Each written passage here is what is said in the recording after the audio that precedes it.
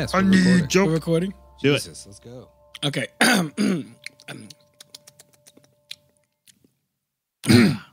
Welcome to another episode of Murder Schmurder. Murder Schmurder! Murder Schmurder back in the house. That's right. We're here again. I think it was Austin who went "M- m- m- m- m- m- Murder Schmurder. You liked the You want you want to do it again? yeah, do it again. Murder Schmurder! Coming at you live. Man, dude, I want to get into a fight with my shirt off when you talk like that. Yeah. That sounds like a ringside announcer. I want to take my pants off. Yeah. Have too many Coors Lights and talk about Charlene, that bitch. gonna fucking take my clothes off, jump in a vat of butter, and run across the street, see how many cops it takes to tackle me down.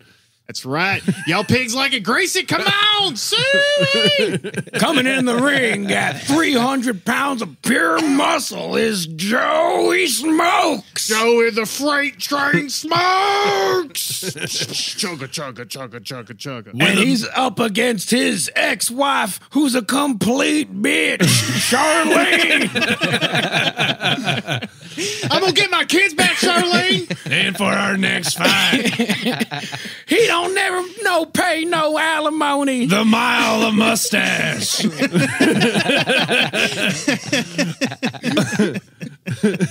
Austin, the Italian Sam. Not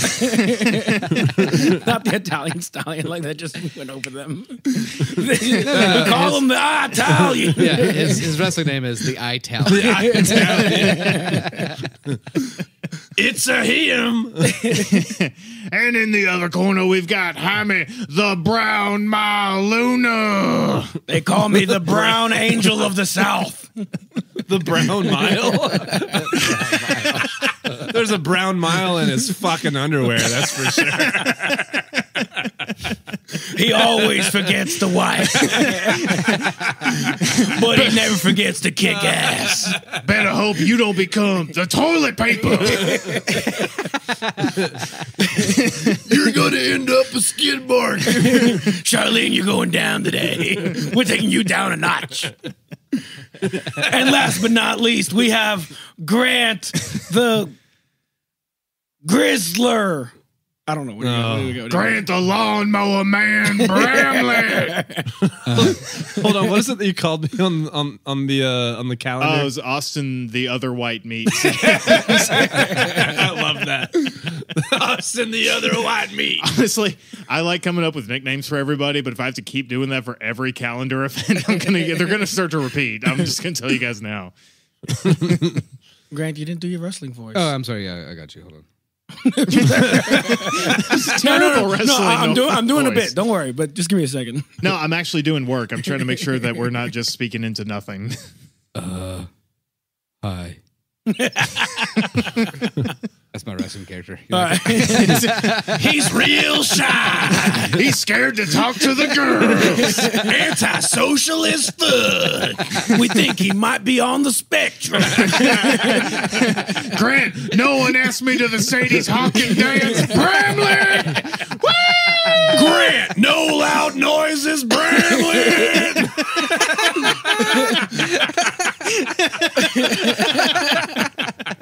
Grant, seriously, no flash photography, please. Bramley! Grant, do you want to talk about trains, Bramley? Uh, yeah, that'd be nice. he doesn't have autism. He just gets scared by the color blue sometimes. We, make sure he's out of the house before you start vacuuming.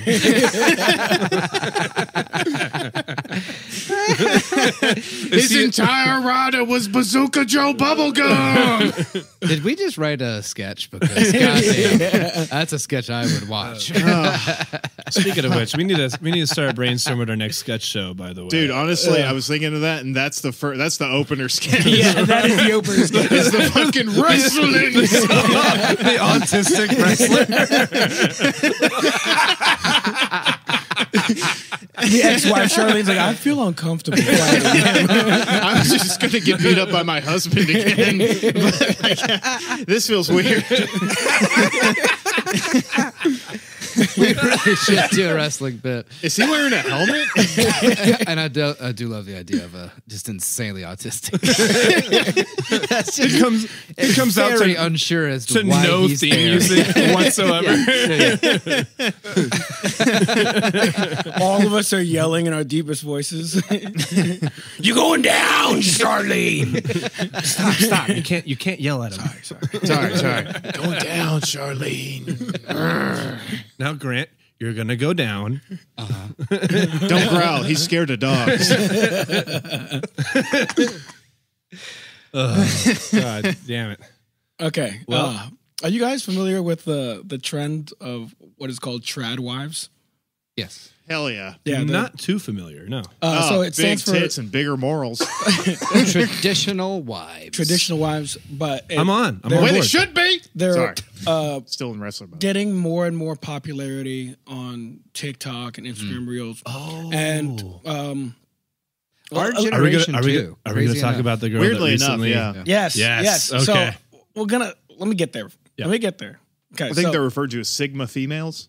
Pretty mu- well. So the big thing of why now there there's a lot of uh, infamy now growing around it is because a lot of these trad wives are doing videos of like my husband wanted a sandwich and so I made the bread from scratch and then I made the cheese from scratch. And Right. a lot of people are pointing out like that's not a traditional wife. What you're doing is basically just saying how wealthy you are, not only with Look, if you wanna money be but treat- also time. If you want to be treated Right. like a queen, you got to treat your man like a king. All right. By the way, right now, our our engineer, our engineer, Our engineer Grant. our engineer Jules is driving over here at 140 miles an hour, just straight into the house. She somehow is like also editing this and hearing it at the same time and is retroactively beating our asses. Her Austin's being a jackass senses are tingling. Also, she complains about trad wives a lot. so there's one trad wife that has really blown up on the internet recently, um, namely for this little clip. Everybody I know who's married right now, they're married to broke ass niggas. Lily Gaddis received huge backlash after her video, as many were outraged by the hate speech. Whoa, Pussy, you didn't the play the original there. They video. didn't play, oh, they didn't play the whole the thing. original video. Hang on, I got the the full video is awesome. and Dude. there's a hard R. Can I just say that like No, I, there's no There's no hard hard R. R. you said Oh, that's tread true. wife Sorry, you're and I was right. like I was like picturing this lady because I heard about this. So I'm sick and tired of all girls getting blamed, or like guys, certain guys, thinking that all girls are gold diggers. I don't know if it's because you get your information from those street interviews in like Way Miami at 3 a.m. outside of a nightclub. You're getting the opinion of some dumb whores and uh, immigrants fresh off the boat looking for a green Oh. card. Yes, they are probably It- that Oh. part that part skimmed over. That part, yeah. Nobody is uh, Think of- playing I, that part. I- I was gonna say all I've heard is the N word, not the fresh off the boat thing, which just goes to show how badly she fucked up in a few seconds. Christ. gold diggers, but that's the exception. I'm the rule. Everybody I know who's married right now, they're married to broke ass. So a recent video of mine seems to and then after she gets called out, she does this quote unquote apology video. have um, upset members of a certain community, and it this um, all the backlash community. just really made me, you know, just really do a deep dive, like do a soul search. And after all that, I still couldn't find a care. She couldn't find a Oh, care. that dumb bitch doubled down. I would say that's Austin. That might be your wife. No, The double down. no. The double down. I mean, the double down is fine, but That's the what- double down is fine. that's what got him hard. But what's making him stop is everything previous. yeah, yeah. Look, look, you you can't say the n word in my home. That's all. That's all I'll say. Um, but I will say this: uh, what when when one bad things happen, I think one great things happen. Have you guys seen the Edmonton Oilers flash video? No. There's a fan that got a little drunk, flashed her titties, and it blew up for a day until like you can't find the video anymore. Damn. And this lady came out and she was like, you know what? I got drunk and I flashed my titties at a hockey game. And if you don't like that, fuck you. And I was like, Now that She's a hero. Yes, an American hero. I have never seen a better ta- a better pair of titties in my entire life. I would go to war for these titties. Canada could start World War Three, and you know whose side I'd be on. Hey, baby, uh, you want to come to the White House? I can give you a little Congressional Medal, no, no. Medal of Freedom. No, no, no, no. I'm fucking jumping the border, and I am joining up. I don't even know what the fucking military is called, but I'm I'm getting right The in there. Canadian military? Yeah, what, what what's like the The red Tough coat? Mooses? I mean, they're, The Tough Moose Regiment? What's uh what's their, their police forces, the Mounties. the Mounties? yeah. I don't Canadian know. military? The, uh, maybe the maybe Canadian they're Army. yeah maybe the Marine Corps is the Moosies. I don't know. The Moosies. A yeah, seriously. If you're at a sports event, you have a few drinks, f- fucking pop a titty out, flash, flash your pecs, buddy, whatever. I'm telling you. Sober flex. it- I yeah, don't care. dude. I mean, sober's have you fine have too. you not have you not seen these? Oh my god. They're called tits, and they're awesome. yeah, I can't stress enough. they're really pretty great. They're really pretty Oh great. no, yeah, like yeah. these things are fucking some uh gagoongas. Mm. nice. And she flops around. Like they're they're they're they're they're doing They're fucking, doing their thing. oh, so she's a lady with back problems, you say? Oh yes, yeah. All right, okay. and, th- and these things are like going into orbit, dude. right, Edmonton Oilers. Those are my You ever favorite seen, kind like, of uh, Oilers. Like when you were a kid, when you wanted to like swing all the way around the swing set. Yeah, that's what her tits are doing. what they were doing. exactly. I was thinking Right. more like you know, like the video model of like an atom, and you see the electrons were going around. oh, yeah. That's Yeah, it. yeah, yeah, That's yeah, yeah, yeah. Yeah. I was thinking of a Ferris wheel. We've all got different Like the- imaginations. look at our creative brains at this table. We're artists. Hey, speaking of which, for real, I've fully committed to the idea of mounting a um, monitor somewhere in here that I can queue stuff up to. Hell yeah! One that we can all look at something at the same time and talk about it, but more importantly, for my uh, wrap up, for the Edmonton just Oiler put- titties, is that what you're about to say? up, yeah. Yeah. Nice. Oh, that's I'm good. just gonna put up tits. We're just all going to stop talking and be like, oh, yeah, back to the episode. This is Murder Schmurder with Joseph, and I'm so glad you guys are here. oh, we were uh, also talking for- about. I'm sorry. We were also talking about potentially filming episodes. yeah. Yeah. So uh, thank you for that great segue. So uh, we Thanks are for going. segue, Austin. we are going to start I don't have filming our episodes and posting them But when you do, to our Patreon.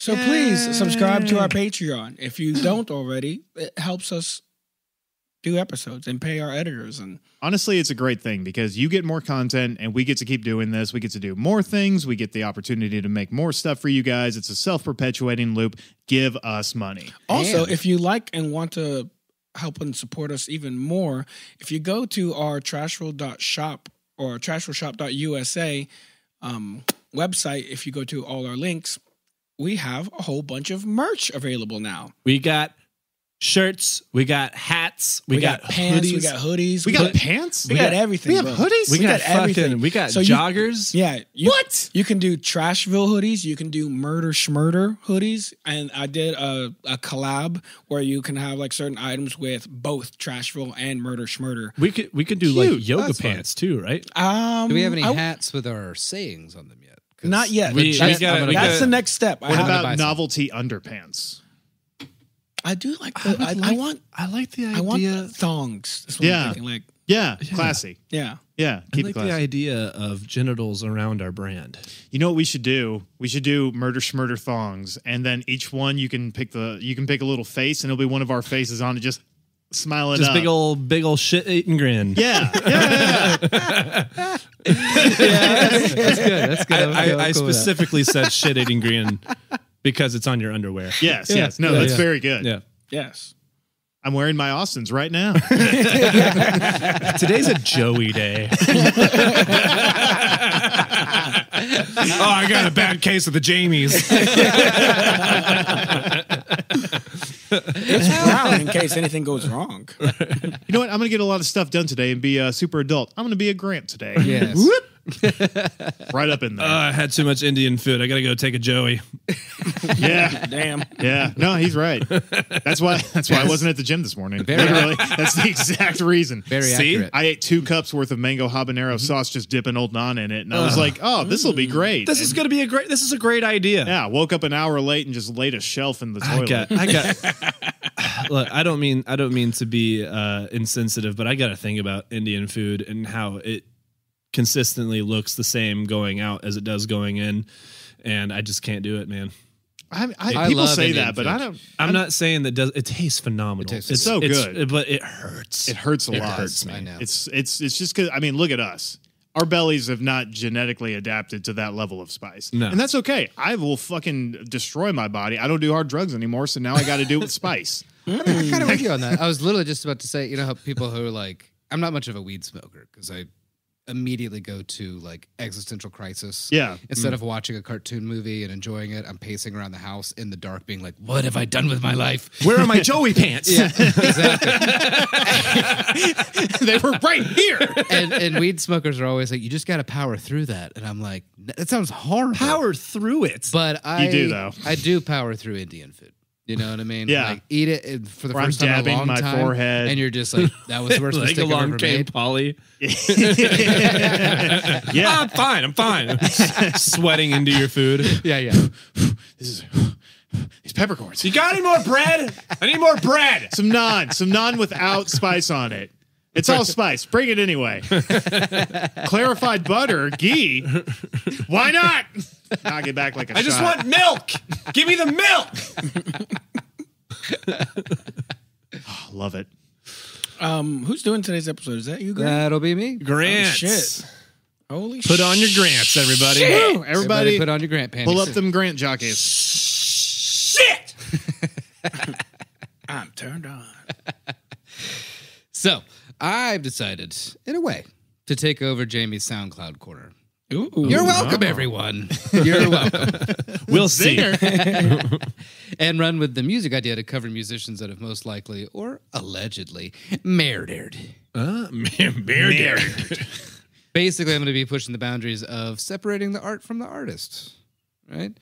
Today is the rock and roll icon, the man who constantly tried to compete with and overtake Elvis Presley, Jerry Lee Lewis. Exactly. He fucked, he fucked up. Couple y'all. For real. He's super fucked up. Uh, he assaulted bandmates on the bandstand, shot his bass player, probably killed a couple of his wives. Um, Like on accident? I killed my wife and I put her to rest. and then I shot my best player in the chest. they both are dead. and I just said, oh, goodness gracious, I'm fucking crazy. That was good. Thank you. That was very good, good. Austin. You should play him in the biopic, man. That was good. I shall. Yeah. I shall. you you already did better than fucking what was it, Dennis Quaid that did the 2005. Oh, yeah, the yeah. Biopic. It's terrible. Barely counts. Dennis Quaid is very hit or miss. Yeah, uh, he basically made. He was like Foghorn Leghorn, like, as Jerry Lee Lewis. I've, was- I've also heard that. Dennis Quaid is an asshole. I have heard that too. Oh yeah, Also, Grant. I wouldn't know. So Dennis Quaid, if you want to come on the fucking podcast, Yeah, I mean, you like, may not be an asshole. clear your name, defend yourself, dick. or be an asshole on the podcast. or just come in and fight us on calling air. you That'd be fun. Grant, I have to say, I absolutely love when you're like, very good, so and so, because it feels like, like, I, like when you ever tell me, like, very good. I feel like a dog that just got a treat. I'm like, yay! I wrote, I, I wrote the entirety of a joke in the group text the other day. He was the only one to be like, "That was a really good joke, Austin," and I appreciate you took the time to write the whole thing. You deserved it because, like, you wrote. He wrote that people. It was a couple paragraphs. It was It was such a a. long lo- joke. it was It a was good. wall of text and a long, an Austin style joke where the payoff is so worth the ten minute wait. I love, I love, I love jokes like and that. and like I started doing some stuff, and then I went back and looked at it, and I was like, Austin deserves to be recognized absolutely for his effort. Good, left it all on the field. it's it's kind of Norm Macdonald esque, Yeah. you know. R.I.P. Norm Uh, I loved him. I loved him to death. Is he dead? Yeah. Yeah. Died of cancer, right? Oh, I think Oh, so. yeah. Was it cancer? Yeah. Yeah. When? Oh like man, maybe recently. like A little while. Ago. I thought it was ago. like But three years ago. yeah, like a couple years. How did you not know that Norm Macdonald's dead? It was a big thing. It was a huge deal. I'm, Are you going to be able to do the episode now? He died like three years ago. I know. How did Yeah. I miss this? There's been a lot going on. To be fair, it's hard to keep up with everything. It kind of is, man. There's a lot. I was actually just listening to him on like a podcast the other day. Yeah. And I was like, oh, thank God he's still alive. Right. It's probably AI at this That's point. when Jaime learned that people record podcasts and post them later.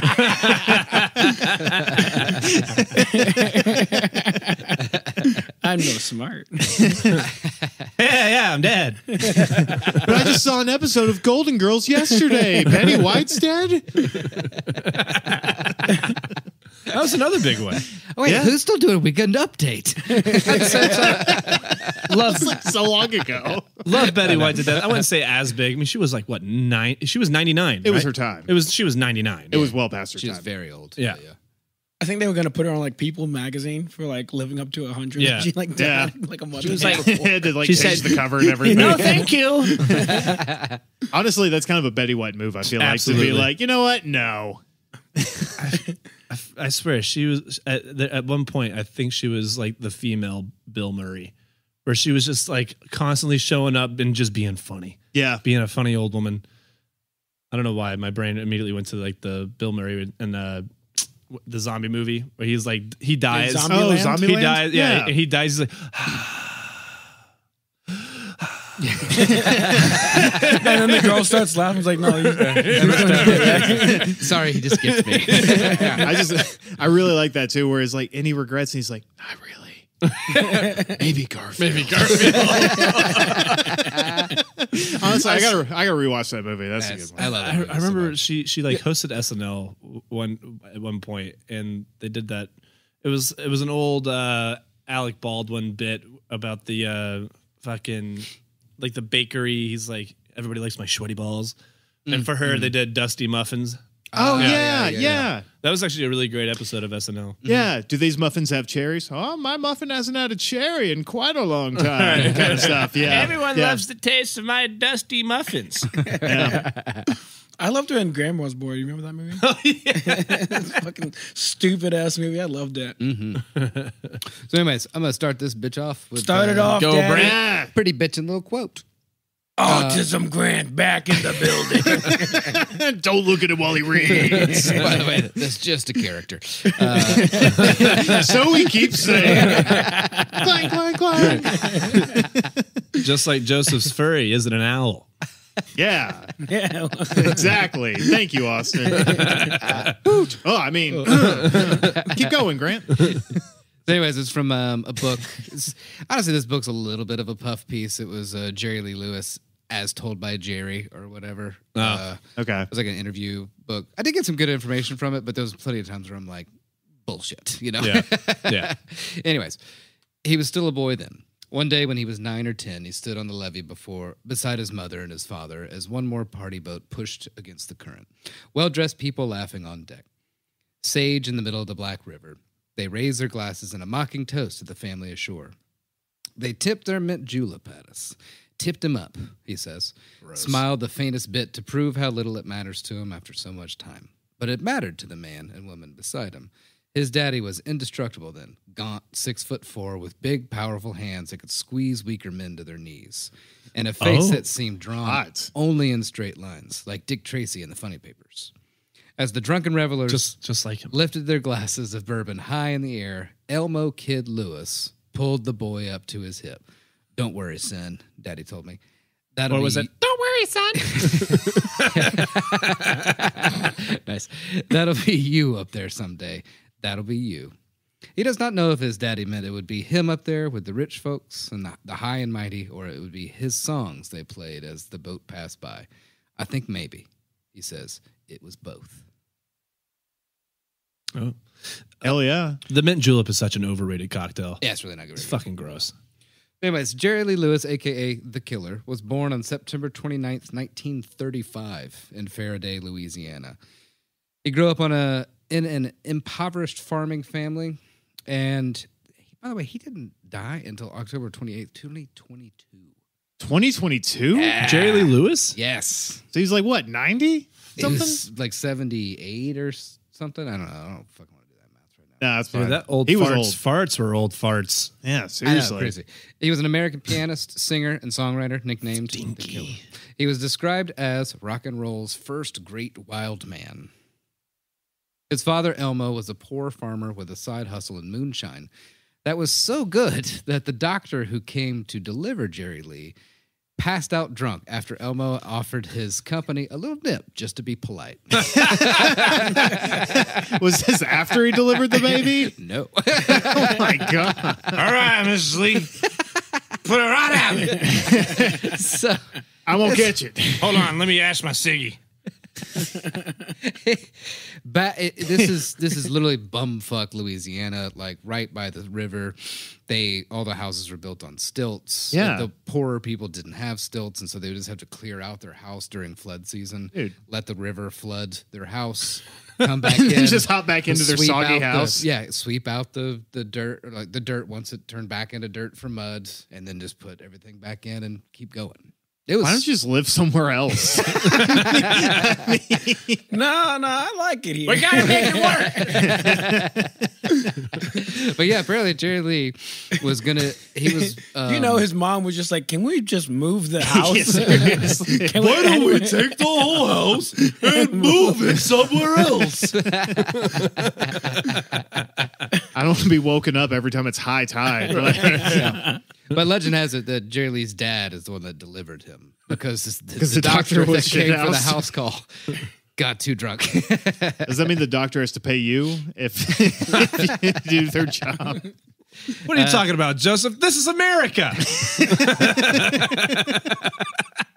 His mother, Mamie, a God fearing music lover, was so deeply Pentecostal she never cursed, wore makeup, or drank.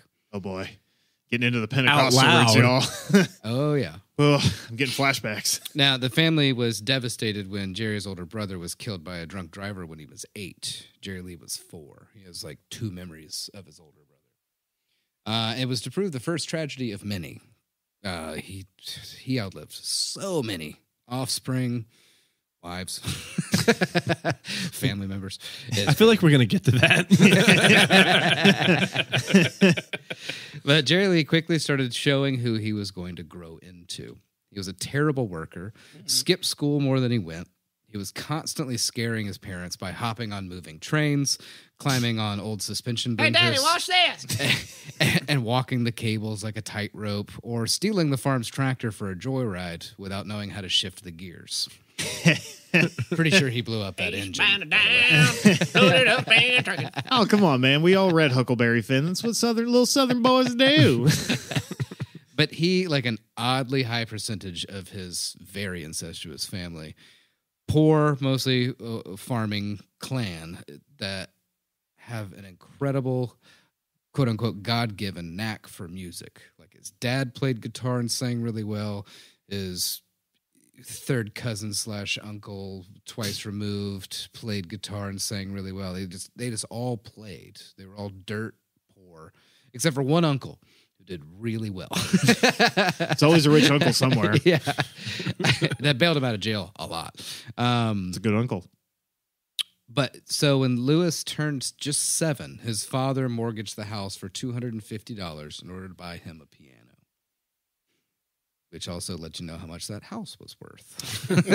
Yeah. I was going to say that's really kind of fiscally irresponsible, but when you're living in a shack, you can take out a mortgage on it. I mean, why not? I'll trade you my house for a piano. I was like, oh, that doesn't seem, that doesn't seem fair. It's like, well, wait till you see the house. Yeah, it's a one bedroom, yeah. Yeah. just a bedroom. So Hey, what, Elmo- how about half a piano? I'll give you 44 keys, boy.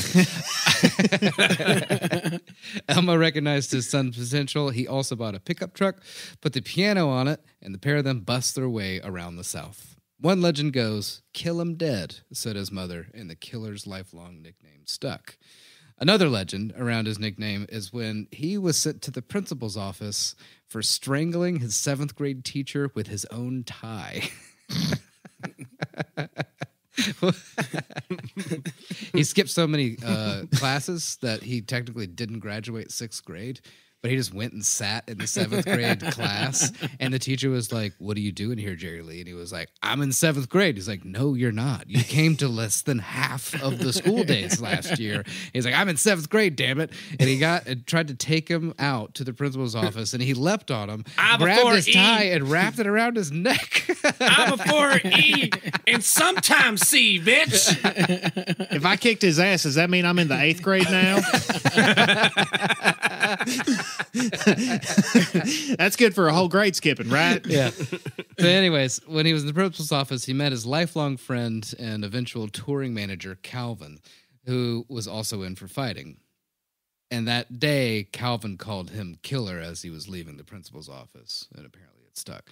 A lot of people like to claim that they gave him his nickname killer, but Calvin's probably my favorite.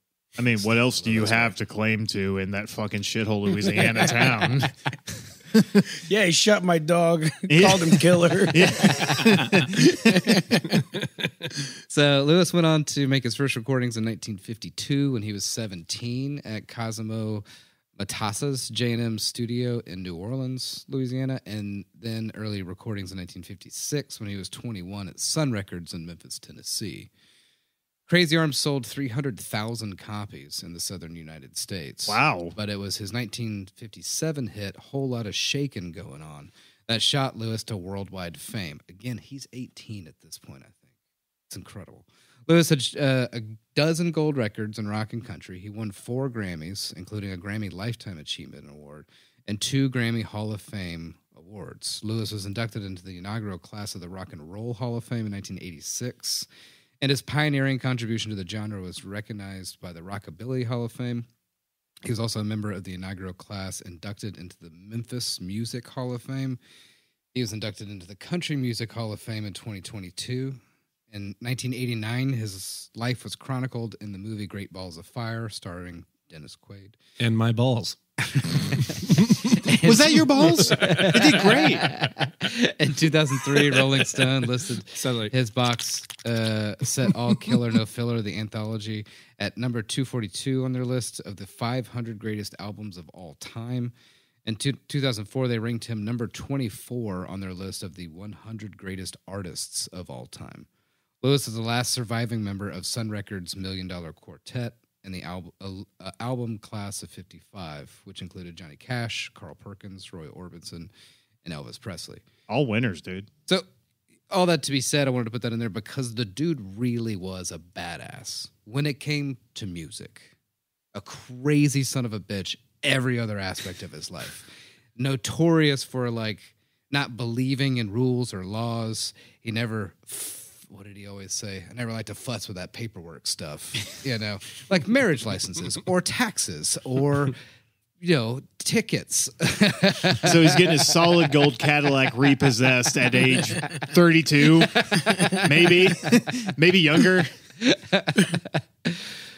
Uh, music critic uh, Robert uh, Christgau said of Lewis, his drive, his timing, his offhand vocal power, his unmistakable boogie plus piano, and his absolute confidence in the face of the void make Jerry Lee the quintessential rock and roller.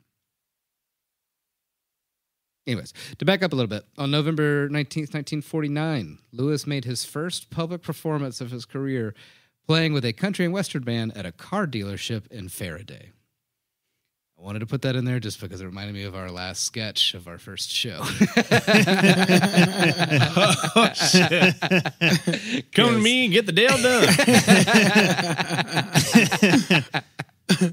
That's probably like I think one of my favorite sketches I've ever written. the Toyota thon. yeah, the Toyota thon. The one where by the end of it, we were all so exhausted that we just started like yelling at each other. My God, dude! Like.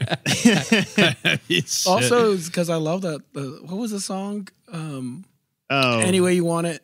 That's the way you need the, it. Yeah. but the strange acoustic version. Yeah. It's like a it was like a weird. Yeah, cover. I love that song so much, and all of you hated it so, so much. it's also important context to give is that we everyone else at this table everyone else in trashville is wildly overly familiar with Journey and their oeuvre. Uh, Jaime is apparently the only one of us who had never heard of Journey before. I was like, hey, I just heard this great song. It kicks so much ass, and I really want to use it for the sketch. We're all like, oh, okay. And he just starts playing any way you want it. That's the way you need it. But Journey, we're all like, what the fuck are you doing? But it's not even Journey. It's Yeah, like it was it's like a bunch of college kids in their garage Doing a cover of it. doing a doing a, like a, a soft bluegrass cover. I wouldn't even call it bluegrass. No, was people, like- we're talking like ukulele YouTube era cover. Like, Yeah, yeah, actually, yeah, that's that's true. very on point. yeah, right. That's a good point.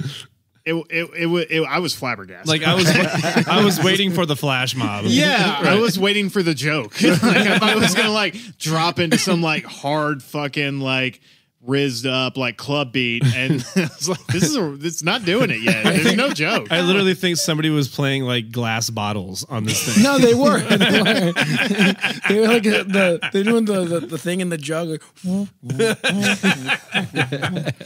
So, anyways, just to paint that scene, the hit of his set, this performance was of R and B artist Stick McGhee's "Drinking Wine Spo-Dee-O-Dee." What? Hell yeah. Drinking wine, That's, that's going to be the next fucking uh, sketch show that we do. We're going to call it a Spo-Dee-O-Dee. a Spo-Dee-O-Dee. A Hell Spo-Dee-O-Dee. yeah. Um, his mother seeing his talent, but fearing his uh, awesome cover of Drinking Wine Spo-Dee-O-Dee, enrolled him at the Southwest Bible Institute in uh, what what is that? Waxahachie, yeah, Texas, Waxahachie Spo-Dee-O-Dee. Yeah. So that he could sing evangelical songs exclusively. Got to get the devil out that boy. When Lewis daringly played a boogie woogie rendition of "My God Is Real" at a church assembly, it ended his association with the school the same night. so just playing like a jumped up version of a fucking hymnal made these people kick him out. That's Pentecostal for you. Yes, it is. Uh, so he played a black church song at a white church, and they were like, none of that. Pretty much. Yeah. don't do that at a spo-dee-o-dee. He looks like he's having fun. Get him out of here. Uh, Perry, This is a spo-dee-o-dee, not a hoochie coochie. There's a difference. Perry Green, then the president of the student body, related how during a talent show Lewis played some quote worldly music. Is that what they called it? Their word for dirty. I love it so much. The next morning, the dean That's of the about as school. politically correct as you get back in those days. Seriously, though. The next Yeah. morning, the dean of the school called Lewis. And I don't want to Green- say N word. Um, worldly, Worldly. music. That could mean anything. covers it covers all genres. Yeah, because it's basically just saying it sounds like he's been anywhere but our shitheel little town, and we hate it. It Yes, could exactly. be it could be reggae. It could be Mongolian throat singing. We We don't don't, know. Know. Oh man, But it's not from that But it's like not it. from this world. It could just America. be the emerging blues music from less than a mile away. yeah, seriously. Um, the next morning, the dean of the school called Lewis and Green into his office to expel them. Apparently, Jerry Lee just uh, disagreed with this. He's like, "You can't expel me. I'll leave for a couple weeks, but I'm coming back." and never knew he's never going to come back, but just wanted the dean to like look through the gates for at that two week marker Just be like, oh shit, the devil boy's coming back. I should have done that for my last job. I'll be Oh, back. dude, that's good. Yeah. I'll be back. I'll be back. But instead, he went home and started playing at clubs in and around Ferriday and Natchez, uh, Natchez, Mississippi, by the way. Becoming part of the burgeoning new rock and roll sound and cutting his first demo recording uh, in New Orleans, like I was talking about earlier. Uh, around 1955, he traveled to Nashville, where he played in clubs and attempted to build interest, but was turned down by the Grand Ole Opry, as he was already at the Louisiana uh, Hayride Country Stage and radio show in Shreveport, which again, I just fucking love the Deep South in the 50s. That's just. Would you not watch the fuck out of the Hayride Country Stage and radio show? I absolutely would. And then when the minstrel show part of it came on, I would turn it off. yes, exactly. Hosted by Walton Goggins. apparently while he was there he was just playing downtown anybody that let him play a lot of people were very impressed with his piano playing and he would try and strike up a conversation with him got to a point where he was able to talk to some of you know like some record execs, managers, things like that, and all they ever said to him was like. "You Got a good voice, real good stage presence, but you need a guitar, boy. That's all. Yeah, he never was able to make it in uh, Nashville. And I, Uh, I bet you New Orleans and Nashville were fucking crazy in the 50s. yeah I bet New Orleans was for sure. Yeah. Yeah. Nashville, Oh, I, dude, I that'd have been so awesome. Two different worlds. Well, yeah, two, Two different, different worlds, worlds, but sure. crazy in their own ways. You know what I mean? Like, I still, I, I don't know, it's probably wrong, but I, I mean, picture Nashville, Nashville. in the fifties was pretty fucking crazy. Yeah, I picture it as like a more like old west kind of like. There's not a lot of bars, but every bar in it has a gunfight happening in it. Yeah, there's definitely more tumbleweeds. Yeah, Yeah. yeah. Like it's not a paved road. no, It's just a Yeah. a lot of dirt roads. Yeah. Yeah. I mean, But um, from there, he went to Memphis, and like I was talking about earlier, his time at Sun Records did really, really well. Um, playing with like Carl Perkins and backed up Johnny Cash in a track. Its distinctive piano playing um, can be heard on Carl Perkins's tune and oh Billy Lee Riley's Flying Saucers Rock and Roll. This probably doesn't mean anything to you guys. On December 4th of 1956, Elvis Presley dropped in on Phillips to pay a social visit while Perkins was in the studio cutting new tracks with Lewis backing him on piano. Johnny Cash was also there, also there watching Perkins. The four then started an impromptu jam session, and Phillips left the tape running. These recordings, almost half of which were gospel songs, were released on a CD as the Million Dollar Quartet. Tracks also included Elvis Presley's Don't Be Cruel, Paralyzed, Truck, Chuck Berry's Brown Eyed Handsome Man, and Pat Nice. Boone's Don't Forbid Me.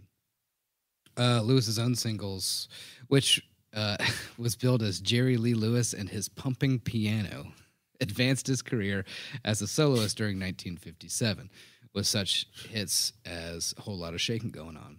pumping Um, those fingers. and Great Balls of Fire, his biggest hit. Hold on. His pumping piano, Mhm. whole lot of shaking going Uh-huh. on. Mm-hmm. And great Balls of Fire. Balls of fire Is that devil music, boy? gets down right into your loins. so it wa- I thank you for bringing that up because it brought him international fame and criticisms of the song, which prompted some radio stations to boycott them. Like, this is too close to penis, and I don't like it. I mean, all all press is good press, you know. Mm-hmm. It fits his like fucking hellion persona. Also, side note: how much how much do you think you could sell those copies of like fucking Carl Perkins, Johnny Cash, Elvis Presley, and Jerry Lee Lewis all playing together? Like, if you had originals of those, I mean, can you imagine what, they'd you could worth fucking sell that shit for, Mm-hmm. dude? yeah. I'll tell you one thing: I wouldn't be doing this. I fucking know, man. I wouldn't. I wouldn't write another joke. So, because this is just too taxing on you. Huh? no, no, this is my escape from everything that is taxing. You're telling me I had some original copies of, of this quartet? I'm, um, the way I the way that I would handle my stress. Go ride my giraffe, dude. right, I'd go. I'd go. How much money do you think this cut is worth? Oh, easily about millions. today? If you had an original and mm-hmm. today, dude, it'd be millions. Yeah, It'd you find millions. The, you find the right buyer for real though. Okay, because I was thinking like 50k. I was like, Oh, dude, no, Oh, Are you gonna way, no. retire with 50k? no, no, no. I'll retire with fifty million though. yeah, I mean, like uh, a whole lot of shaking going on was selected for permanent preservation in the National Recording Registry of the Library of Congress. Like Congress, dude, and they do everything right. The Library of Congress is awesome. I like libraries. I don't like Congress, so I'm 50-50 on this thing. no, no, it's a library that Congress can go pick out books from. They don't. They don't. they don't. It's there If for they them. wanted to, they would. does this book have pictures? Ted Cruz being like, "Do you have the new John Grisham?" That's really good. I want to read the Hardy Boys. they always get the case, and they always come out on top. Mr. Mr. President, again, you weren't technically a member of Congress. You were the the president. Uh, I don't care. give me the book. Aren't you just glad I'm reading? You know, you can buy it for like sixteen dollars on Amazon. I want to read it in the library. All right, well, no jacking it in the computer room. No promises. to the hard people. It's, you know, when you're the president, they just let you do anything. Hang on. so Congress has a library, like a like a physical library. Yeah. Can you go there? Yeah. Anyone can go there. Hmm? That's cool. it's amazing. It was in. It was a national treasure. I haven't seen National. yeah, that's something you would. That's a reference you would get. How dare you not remember National Treasure Why frame do by frame, you fucking fool. Why do you Why do you make it sound like I backstabbed you? but, but we saw that movie together. That's where, that's where Nicolas Cage came up with the idea to steal the Declaration of Independence. I haven't seen National Treasure. Austin looked at Jeremy. It's a like he just fantastic grew a movie. third eye. it's like, you, what? Movie court.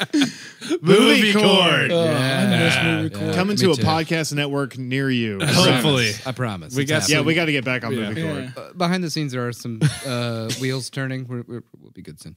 Anyways, according to several first-hand sources, including Johnny Cash and Elvis Presley, actually, uh, Lewis, a devout Christian, was troubled by the, the sinful nature of his own material, which he believed was leading him and his audience to hell. The aspect of Lewis's character was It's like. Dr. Jekyll and Mr. Hyde. Yeah, I mean, pretty I can't stop making it, but I'm turning evil. We must make more. But instead of a potion, it's just booze. Yeah. Booze with speed pills dissolved in it. Yeah. it's just amphetamine and whiskey. Woo! when he's hungover, that's like the Christian side of him. Oh, God. I'll do anything you want. Just make it stop. Please. Oh, sweet Pentecostal Jesus, please help me. Specifically, the white Pentecostal Jesus. Jim Beam and Percocets. I beseech thee. I'll handle all the snakes you want. I won't go to the movies. Just, just make it stop.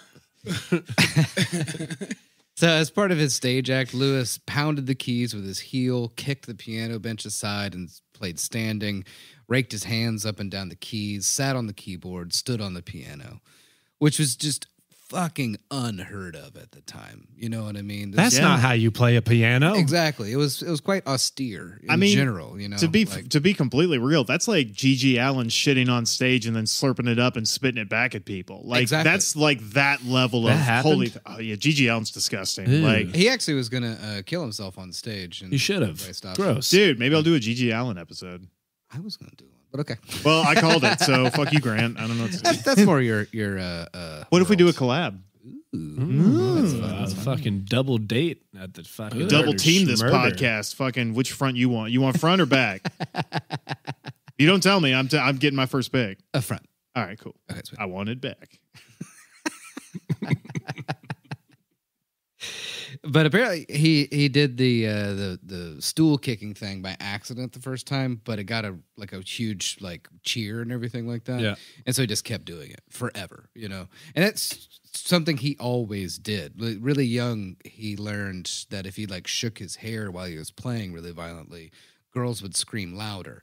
So he grew his hair out longer and shook it more. You know what I mean? Yeah. Could you imagine the process of, of realizing that? It's like For a guy who fought his way to seventh grade, right, like he like like he's he's he's playing, he's sweating a little bit, he's trying to get the hair out of his eyes, and he flicks it. Woo! Yeah. he's like, huh? And he flicks it twice. Oh! Yeah. He's like, He- oh wait a minute. He starts flipping it around. Yeah, he just Well- he invented this shit. It's crazy. Wow. but it's Wow. it's, it's true. You know.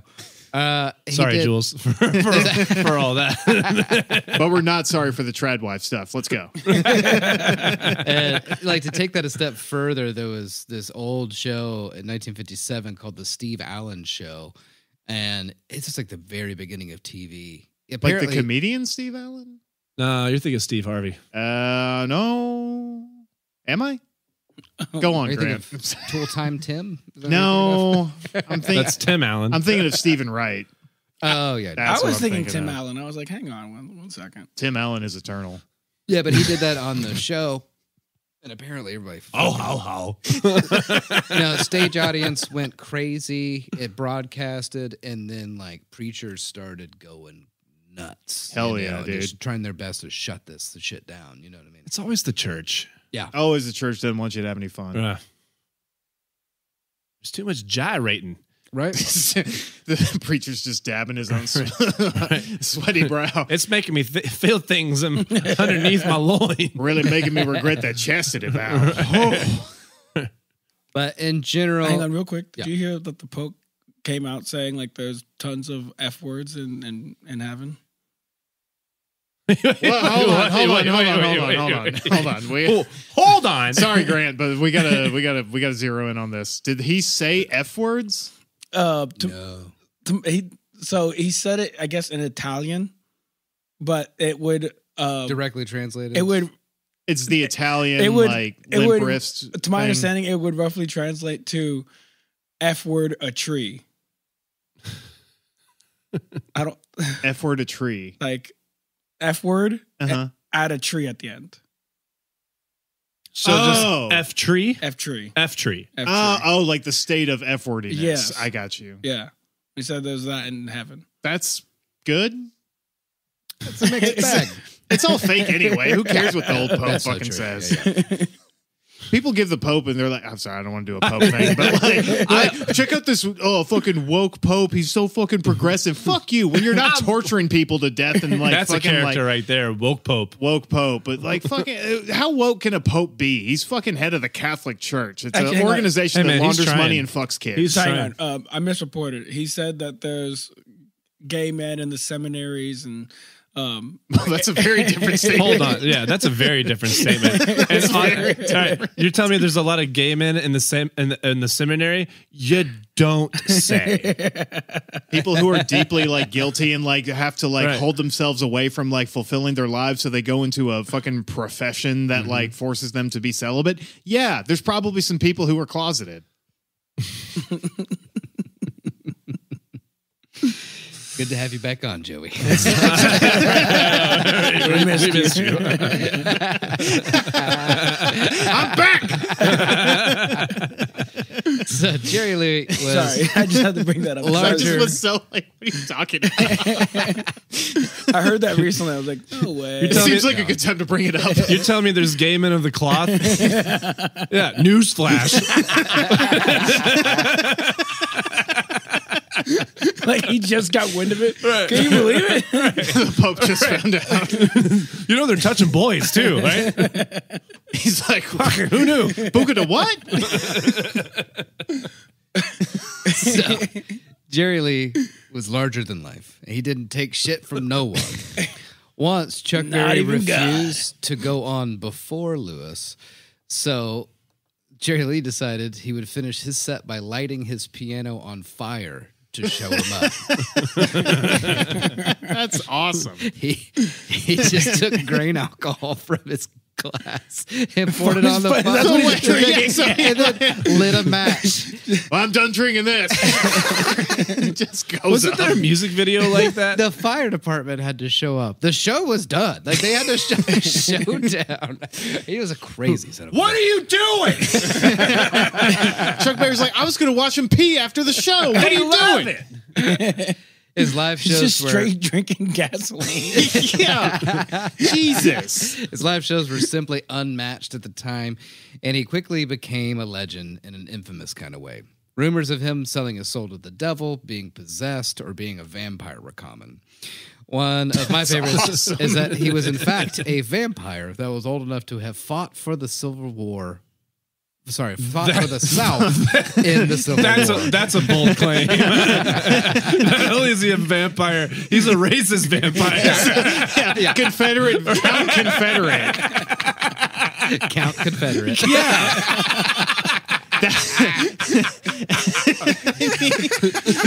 It's the ghost stories they told to, the- to I North. vowed to whip your slaves. Rebel yell. Ooh. I want to suck your slaves. Oh my God. Rumors or not, Jerry Lee Lewis was a fucking maniac, and this might be my favorite story. I swear I thought you were going to be like, rumors or not, he was definitely a vampire. I actually I went to the the Library of Congress and I pulled, pulled up some old photos of Civil War. Uh, yeah, he's there. No, um, Instead and of Nick Cage. yeah, yeah. instead And of Nick Cage. transforming into a bat, he transforms into a whip. Jesus Christ. Use me. Oh God! You're gonna say a possum with a Confederate flag shirt on. Why would you think that? I mean, instead of a bat, it's still an animal. Just a possum with a Confederate flag on its neck. You know? no, I was thinking bat in the uh, the baseball form. You know. But, Okay. Yeah. Yeah. Different tools. Wait, do you think regular vampires turn into bats like Louisville Sluggers? No. I do love the idea that just poof. I, Cunk, cunk, I, cunk, cunk. I- I think I think there was like a Looney Tunes or some Oh, kind of okay, that- kind of yeah. bit where like a vampire turned into a, a baseball There bat was, with That's good. wings. Yeah. It feels like WB. I Yeah. think it was. Yeah. So, anyways, this is one of my favorite stories of his. Check it out. In the early hours of November 22nd, 1976, Harold Lloyd, uh, Elvis's and the uh, presiding guard on duty at Graceland, was greeted by an unexpected visitor, Jerry Lee Lewis. Jerry Lee, accompanied with his wife at the time, pulled up to the mansion's front gate in his new Rolls Royce Silver Shadow. He asked Lloyd if he could see Elvis. Hang on. Did he, Silver Shadow. yeah, like it's Damn. it's like the Ford Escalade, or like that's the name of the car, or he named the car. Oh no, no, that's that's that type of Rolls Royce. Okay. it was Oh, like oh. their Yeah. Uh, Well, it because was like their luxury speed car. It was like a four door speed car. I was really Speedster hoping kind of a that thing. Like They're dope. that he just called it Very the Silver expensive. Shadow. well, it was one of those times too where like Rolls Royce made, uh, I think they were called the Phantoms or the Wraiths Ah, or yeah, something, yeah, yeah. the Phantom or Wraith, but they only made like what a couple hundred of them. That was a time when like car manufacturers would literally just do a limited run on a on a car, like they make a couple hundred, or they'd make like ten super expensive fucking like silver shadows, Yeah. and if you had one, it was just like fucking Shangri La in a car. So Not helping the whole vampire. right, right? So, but again, this is seventy six, so he is fucking loaded. Yeah. just so you know. He asked Lloyd if he could see Elvis, but was told that the king was asleep. Lewis politely Oh, thanked- wake his ass up! but said, Stuffing an egg McMuffin in his face. well, wake him up. Lewis politely thanked Lloyd and drove away without incident. Later that morning at 9:30 a.m., Lewis flipped his Rolls Royce while rounding the corner at Peterson Lake and Power Road in Collierville. Shit! The police report on the incident stated that the breathalyzer test yielded negligible results, but that Lewis was obviously tanked on something and that he was charged with driving while God damn it! Where was that breathalyzer test? He's so drunk he broke the breathalyzer. it's off the charge, just blows Just up. OD'd. Check this out. he was charged with driving while intoxicated, reckless driving, and driving without a license. That's a Bought a Rolls dude. Royce just a few weeks ago. Anyways, after the infraction, Lewis most likely returned to his home to rest. On November 23rd, God, am I hungover? 1976, less than 12 hours later, he was holding court at The Vapors, one of his favorite Memphis night spots. For reasons that are still debated, Lewis decided to leave The Vapors at about 2:30 a.m. the vapors or the vampers? Vapors. Oh, sorry. Precisely at 2:50 a.m. Drinking what looked like red wine. Almost 24 hours later, to the minute, he again pulled up to Graceland, this time in a new Lincoln Continental. what a baller, dude. I got it on sale. It's just a brick in the passenger side. the car wasn't the only thing that had changed from the night before. Lewis's manner was markedly different. He was armed, angry, and obviously inebriated. A dangerous combination for a man mere, mortar, mere mortals called killer. He was out of his mind, man, recalls Lloyd. He was screaming, hollering, and cussing. Hang on, real quick. You, you said he he like overturned the, the Rolls Royce, right? Yeah. How much how much time elapsed from him leaving Graceland to Him coming back to Graceland in a new car? no the first one when he went to Graceland and Yeah. you said you flipped his car? Uh-huh. Was it like directly like ten minutes afterwards? Is that what you said? Uh, it was like he was there two in the morning, and then he flipped his Rolls Royce a little after that. Yeah, so probably just a few miles down the road, honestly. And then the police picked him up, arrested him, and then the next day, So he's hammered. Yeah. The first time, obviously, uh-huh. Next day, he buys a Lincoln Continental. I want to see Elvis. Certainly, it wasn't the alcohol. My favorite thing is like Elvis was probably wide awake on fucking like pills. At this time, Elvis actually had become a bit of a recluse. This is his fat face. And he was hmm. known for sitting in his office that was adjacent to his master bedroom that had all of the CCT footage on just a Yeah. panel of television screens. He got kind of Howard Hughesy. Yeah, he did actually. Yeah. So he was definitely watching the whole thing. Yeah. Mm, tell him I'm asleep. Yeah, You- exactly. You know what's funny is Elvis was probably like, "I bet he's here to kill me," and then like 24 hours later, he was like, "I was right." yeah, so within 24 hours, he clearly did not stop drinking and doing speed, but he bought a Lincoln Continental, went to his favorite bar, and uh, from Probably one of the books I read, well, apparently he didn't like to drink champagne, but somebody brought in a case of really nice champagne, so he said, "I'll make an exception for it." So he leaves the bar with a full bottle of champagne uncorked, just drinking it from the neck on the way back out to Graceland. God, I grew up in the wrong era. He tried to. he thought the window was down as he was pulling up to Graceland. What a beautiful time in America. So he finished his bottle of champagne, thought the passenger side window was down, and tried to chuck it out the window as he's pulling up to Oh, drive no. for Graceland. Who does he hit? Shattered the passenger side window, which was fully up, and the bottle of champagne. It ricocheted back and cut his nose. So Oh, he, my God. He showed up fucked up, bleeding, and holding a loaded pistol. Reeking of champagne. so, anyways, The car salesman probably had a hoot selling that car to him. Oh my God, probably actually- yeah. Can I, uh, He's just had- drunk as hell Can with I a whole just bunch get of cash in a, a hand. look at your license, please? I'm Jerry Lee Lewis. All right. Well, you are Jerry Lee and Lewis. just I'm here. like you know thirty five hundred dollars in cash on the thing. It's like, all right, Mister Lewis, here you go. You know? Give me your newest Lincoln, and they're like, "Okay, yeah, sure. What am I going to do? Tell Jerry Lee Lewis no? He's very clearly drunk. He will shoot me. Yeah. Anyways, he definitely flashed his gun in the sale. I'm going to want that us, Lincoln uh, today. Joey, give us a good Jerry Lee Lewis. It's that top paragraph there. so he pulls up to the gate, actually hits the gate, and Lloyd and the security guard Lloyd is like, "What are you doing here?" Get on the goddamn phone. I know you got an intercom system. Call up there. and Tell Elvis I want to visit with him. Who the hell does he think he is? Tell him the killer's here to see him. Lloyd panicked. I just put up my hands up in the air and said, Okay, okay, Jerry, just take it easy. Lloyd retreated to the guard room and picked up the house phone. One of the boys answered, and Lloyd appraised him of the situation. Lloyd was advised to call the cops and wasted no time in doing so. Moments later, Elvis himself rang down to the guard booth. Lloyd recalls their conversation precisely. Elvis is on the line and he said, "What, what, what, what?" See, he used to stutter a lot when he got upset. What, what, what, what the hell's going on down there, Harold? I said, "Well, Jerry Lee Lewis is sitting in his car down here outside the gate, waving a Derringer pistol and raising hell." He says said, he wants to kill you. what, what, what's that goddamn guy want? I said, he's demanded to come up and see Elvis. He said, oh, I, I, I don't want to talk to that crazy son of a bitch. Hell no, I don't want to talk to him. I'll come down there and kill him. Y'all call the cops, Harold. I told him I already did, and he said, good. And when they got there, uh, and when they get there, tell him to lock his butt up and throw the goddamn key away, okay? Thank you, Harold.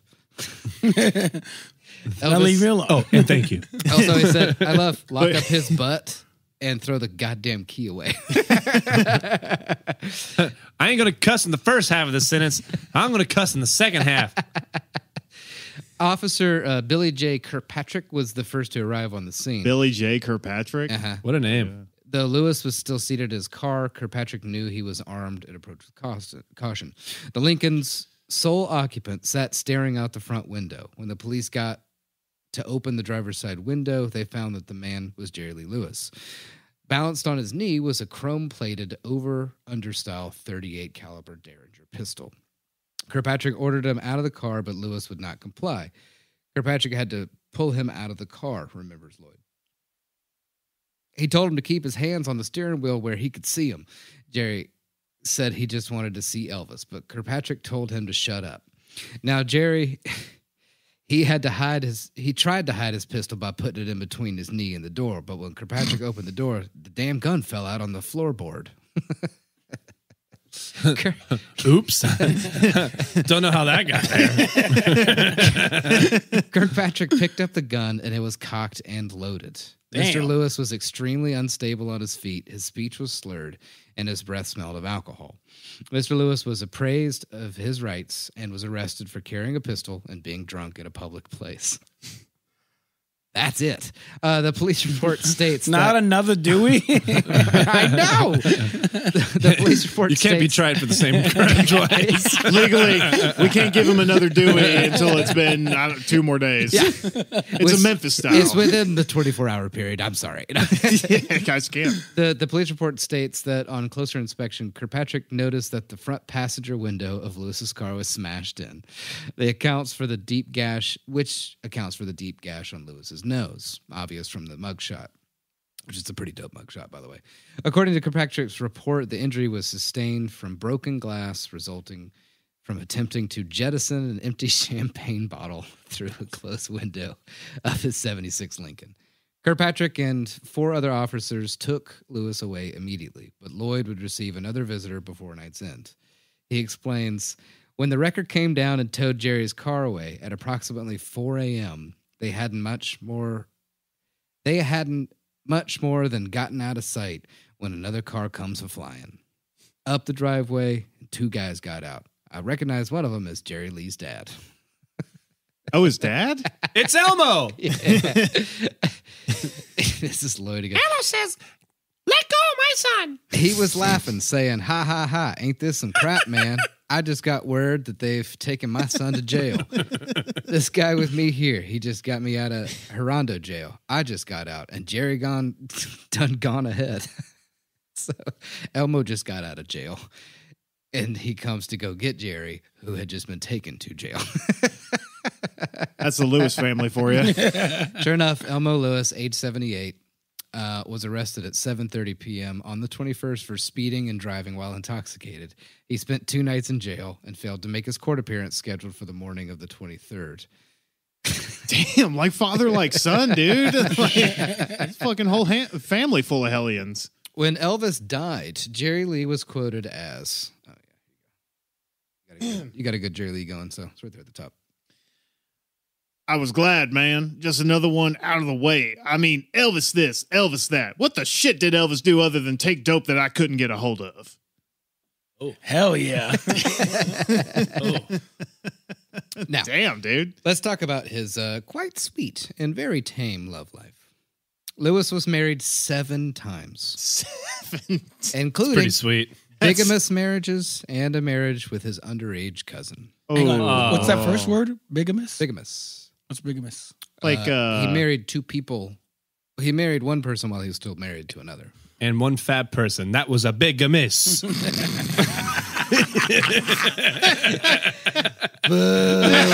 that was great.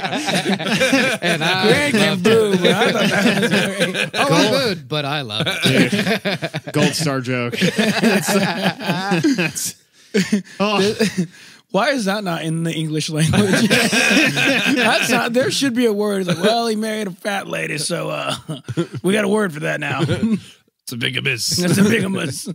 oh my god. He had six children during his marriages, by the way. Six children, So- seven wives. When Jerry Lee Lewis was 16, he married Dorothy Barton, the daughter of a preacher. The union lasted from February of 1952 to October of 1953. Lewis's second marriage to Sally Jane Mitcham in September of 53, which, by the way, October. Yeah, I was doing the calendar Yeah, math. there you go. Was of dubious validity because it occurred 23 days before his divorce from Barton was final. They had two children, Jerry Lee Lewis Jr. and Ronnie Guy Lewis. After four years, he filed for divorce in October of 1957. Jerry Lee Lewis Jr. died in 1973 at the age of 19 when the Jeep he was driving flipped. Ooh. So, So the, the It Lewis, runs deep the in Lewis Lewis. is not Yeah. really good Yeah. with the vehicles. Yeah. Now, his most infamous move that I'm sure at least one of y'all know about at the table is his third marriage. It was to 13 year old Myra Gale Brown, his first cousin once removed Well, once removed. What's that mean? as cousin by marriage.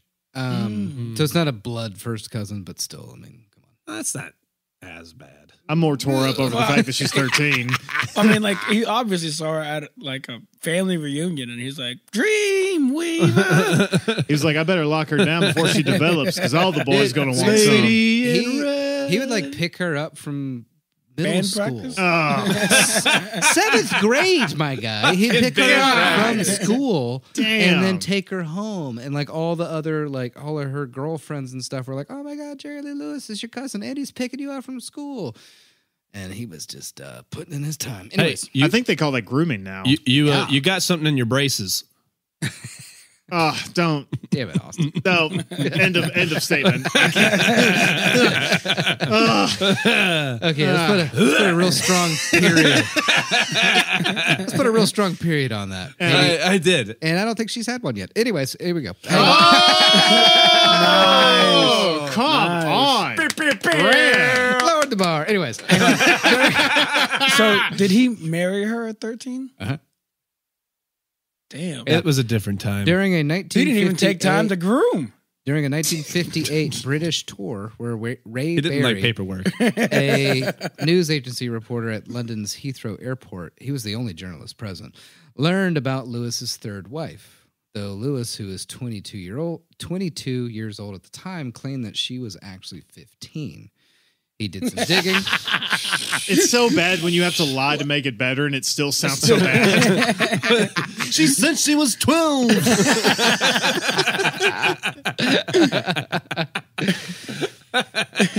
Hang on, don't don't the courts check any something? Don't they like, hey, can I oh, see an ID? Oh, That's Like- that's a that's a really good question. So get this shit.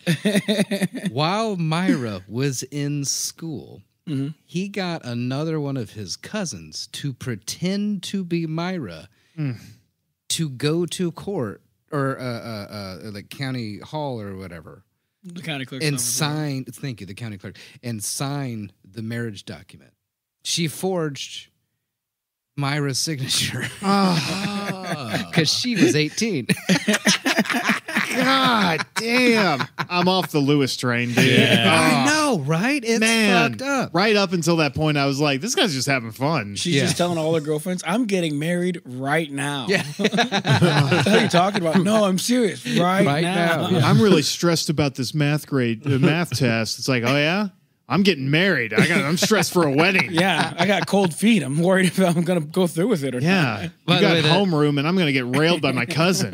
that Dennis Quaid movie, this whole like scene of him marrying his 13 year old cousin, apparently, I haven't seen it. I've just heard a lot about it doing all this research. Yeah. But she's like packing up her dollhouse and leaving her parents' house with Jerry Lee waiting in the car out front. Damn. I hope they play really romantic music while that scene is happening. so fucked up. Jesus So- Christ. Uh, he goes over to the UK for a tour. They find out about the marriage, right? Uh, the publicity caused an uproar, and the tour was canceled after only three concerts. This ruined him. He went from making 10 grand a night in 57, by- or in 58, by the way. 10 grand a night in 1958. That's insane Jesus. to being forced to go back to the states where he was blacklisted on all American radio stations. He couldn't book any tours. Wow, I'm uh, kind of surprised 50s America cared that much. That's Yeah, that's kind of it's kinda great. surprising, yeah. Yeah. His divorce from Jane Mitcham was not finalized before the ceremony took place, so he remarried Brown on June 4th of 1958. So his his solution to this was to actually fix the legality of him marrying his 13-year-old cousin Yeah, he missed the point. entirely. Oh, I can. I hear what the people are saying. oh, you guys are mad? I'll fix it. They had two children, Steve Allen Lewis and Phoebe Allen Lewis. Brown was only 14 when their first son was born. Oh, damn it, man. In 1962, Steve Allen Lewis drowned in a swimming pool accident at the age of three. That actually had it was just a freak accident. Like seriously, there was no wrongdoing in, in, in any part. She was actually doing dishes. Thought the housekeeper was watching after the three year olds. They didn't even have the pool filled. It just a lot of rain came in Dude. the night before, and there was enough water to drown the kid. So like, Question. no, it really had nothing to do with her being 14 or bad. No, the three year old just figured out how old his mom actually was, saw where his life was going, and jumped into the pool. My third marriage was my first cousin. Her age was a bacon's dozen. It's been brewing in his mind. That's awesome. That's good. Okay. Quick question. Maybe, uh, maybe it, this is said, maybe not. But does he not believe in premarital sex? He does not actually. We went to court. That's why he married his I got first divorced. wife. A good disco races. I'm fucking crazy. He married the preacher's daughter because he wanted to fuck her. 100. percent Nice. So he married his cousin, his 13. Like in his twisted brain, it's like as long as I'm married, We could do then a whole it's thing. totally okay. Yeah, Okay. I know, right? I'm gonna do a whole Jerry Lewis album based off of this. That'll coming to our merch page. yes. But here's the fucked up thing. Uh, enough, sure a little bit of time had passed. There's something more fucked up. a little bit, not more fucked up, but just it's just strange. He's a weird guy. But his his three year old, excuse me, dies. Jerry Lewis went back to the UK a week after his son died. It was somehow much better received. Uh, it wasn't anywhere near the level of fame he had prior. Um, but I think it was like, oh, your kid died. We're not going to keep hounding you about the fact that you married your 13 year old cousin, I guess. I guess he can bang a 13 year old as long as your son dies. it's not the moral of the story I was thinking we were going to come to, but Well, hang on. So like they get married at 13. She pops out the kid at 14. Uh-huh. He dies at three, so she's She's 17, 17, now. Yeah, yeah. oh, so some time has passed. Some time is Okay. passed. Yeah, the He's mom not died enough. The, the, Not enough. Not a lot of heat. The, the heat has simmered down. Yeah, Yeah. the heat is simmered down. But in 19, The mom looked in that pool and was like, "Shit!" Yeah. So, in, ni- but in 1970, Brown filed for divorce on the grounds of adultery and abuse, stating that she had been subject to every type of physical and mental abuse imaginable. Oh, boy. Man. I know. But, anyways, backtracking just a little bit. All of this bullshit goes down. He's now playing dives uh, all over the country to try and string together a couple of hundred bucks over a week or so. Oh, he wasn't saving money? He-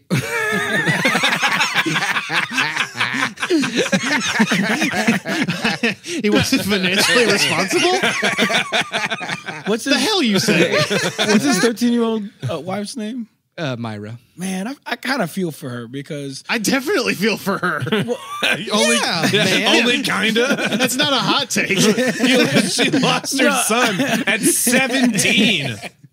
I'm with, I'm thinking before, like as they're dating, I guess at some point at 13, like leading up to the marriage, he's making hand over fist. He's probably buying whatever the fuck Oh, he sure. wants whenever he wants, and then because of that marriage.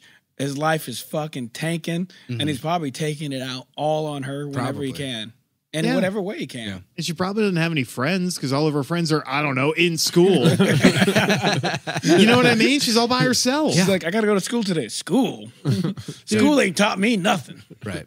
You know he said that at least once a day. Yeah. He dropped out in like eighth grade, I think. Yeah. Yeah. Anyways, uh, he was dead Well, in the they water. kicked him out more so. They're like, don't ever That's fucking true. come back. Don't come back. Yeah.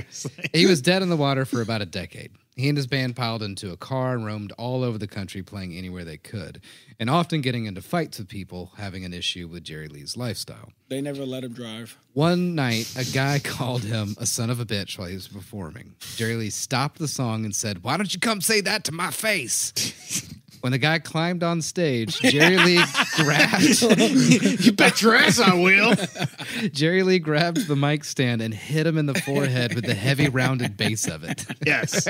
Honestly, fuck yeah. The dude went flying off stage. I think he, uh, what did it say? It was, he landed like two tables back or something. Like Jesus. just full blown. Just, hit the just shit out of That's Yeah. called that's called fucking around and finding out. Yeah. he just go back to playing. Dude, he had that I anger. just hit the man in the head. By the Lucifer, he might be dead. He had that anger in the chamber. He's like, come up here and say it. okay. I broke his teeth. And check, please. Goodness gracious, I'm fucking crazy. So And for just uh, three easy payments of nine ninety nine, you can get a copy of Austin singing these fantastic hits. We will send it straight in the mail to you. God, and then we could have a Christmas album too. Hell yeah! So he said in, a, in an interview later in life that that kind of thing happened all the time. These folks just wanted to see if they could take on the Oh no, killer. I saw people all the time. Is that crazy? These folks just wanted to see if they could take on the killer. so he's going on a Fight Club tour, not necessarily a fucking performance. and that it was better that if he handled it because Calvin from earlier, his road manager, according to Jerry Lee, was real quick with a knife. So basically, if Jerry Lee, I'm doing you a favor. beat the shit out of him, that's I better- cracked your skulls a favor. that's better Calvin than would kill you. Calvin's just polishing the snaps. Like one day he'll slip out. yeah. yeah, why wasn't Calvin the killer? Jesus. So during this time of road dogging it, Jerry Lee developed a pretty good speed and booze habit. Road dogging. Uh-huh. That's a term. Road dogging it, yeah. Torn. Yeah. Just shitty tours. You know, you're, you're Yeah. piled into a four door, you know, just piece of shit. Right. You're Paying smelling for- each other's farts. Yeah. Yeah, going from shitty bar to shitty club to shitty bar. The green room's just like a fucking bathroom with like The windows are down the whole time. Um, he developed a pretty good speed and booze habit, but he also reintroduced himself as a country singer. Here we go. And the hits started coming again. Between 1968 and 1977, he put 17 top 10 hits on the country charts. 17. The fame and the money came back in a rush. Fuck. As long as his fourth wife, Jaren Elizabeth Gunn Pate, from 71 to 82, kept her damn hands off of it. And the IRS. so The IRS always comes knocking. so he was stashing his cash in shoeboxes. And for now, Smart. he was back on top. Very smart. They, Smart. Probably burying in the backyard. they She'll the- never find. It's like, oh, that freshly dug up hole over there. yeah, I'll find it later when you leave. So they hit the road again just as hard, but this time to larger and larger crowds. More and more money per night and more drugs, baby. Better drugs too. Yep. And it started out simply with some pills dissolved in a glass of whiskey while he was on stage. And it was a bit of That's a a blur. hell of a way to do a drug. Seriously. Gotta crush it. I can't snort it. I gotta crush it and just sip on it. Uh-huh. And then it became a bit of a blur. Crisscrossing across the country, going to Europe on late night shows, some acting sprinkled in. Seriously, he was in like some uh he was in a movie, he was in several different television shows that were happening around the time. Probably he, huh? Yeah, that kind of shit, yeah. Um and then uh yeah, so he bought a jet and then a faster jet. His dad as he claimed I want to give him. I want to give him a hell yeah so bad. I, can't do it anymore. So the first Is jet there- apparently was really awesome. Hang on, like it's I- decked out, had a really dope bar. Would you Uh, party with them? Because I think I want to Fuck party. yeah. I want to Yeah. party with Yes. one night. Just Yes, one, One night. night. one night. And I One would, day, more like probably. if if the yeah, underage it's a hookers, 24 hour bend there for sure. yeah, if the underage hookers start floating in, I'm gonna just just ease on back, you know. But anyway, Yeah, if Epstein would have been there. Like, oh yeah, yeah. uh, Epstein's dad. Jesus. so uh, Yeah, I'm thinking of uh, showing my son the family business. so it really is a family business. Speaking of dad, Jerry Lee's dad, Elmo, was happily tagging along, abusing hotel room service. And uh, one time he drunkenly stole a limo on the tarmac and crashed it a mile down the road. He slipped into the back and convinced the cops that he was just sitting there waiting for his son, the famous Jerry Lee Lewis, to get in. And some damn fool stole it and took off with took off with it with him inside. No, I'm sure I've, I've been drunk in the back this whole time. I was napping back here, and some crazy guy took this limo. I just woke up. I'm as confused as you are. Elmo did cocaine off a hooker's tits. and he totally got away with it, by the way. Uh, but in 1981, his speed habit caught up with him. The doctors gave him a 50 50 chance to live. Came to a dead stop. and had to nice and had to remove a portion of his stomach. A little Oh, later, damn. He performed a televised special on ABC celebrating his 25 year career.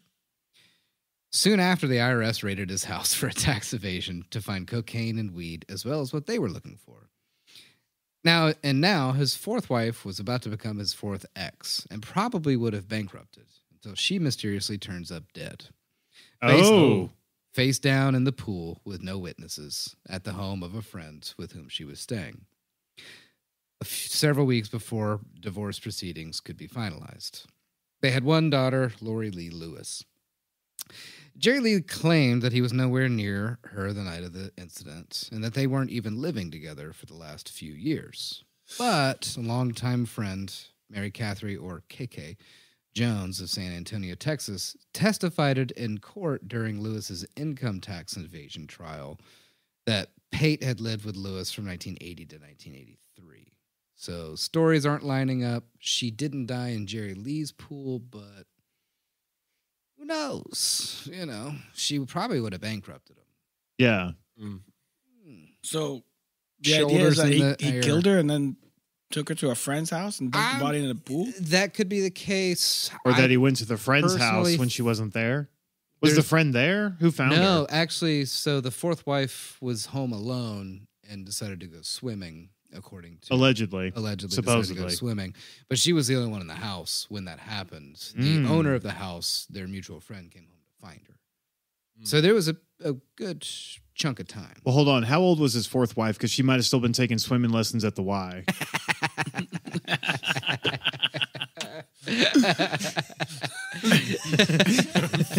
She was a Fucking lot. taking up two goddamn lanes. Are you fucking kidding me?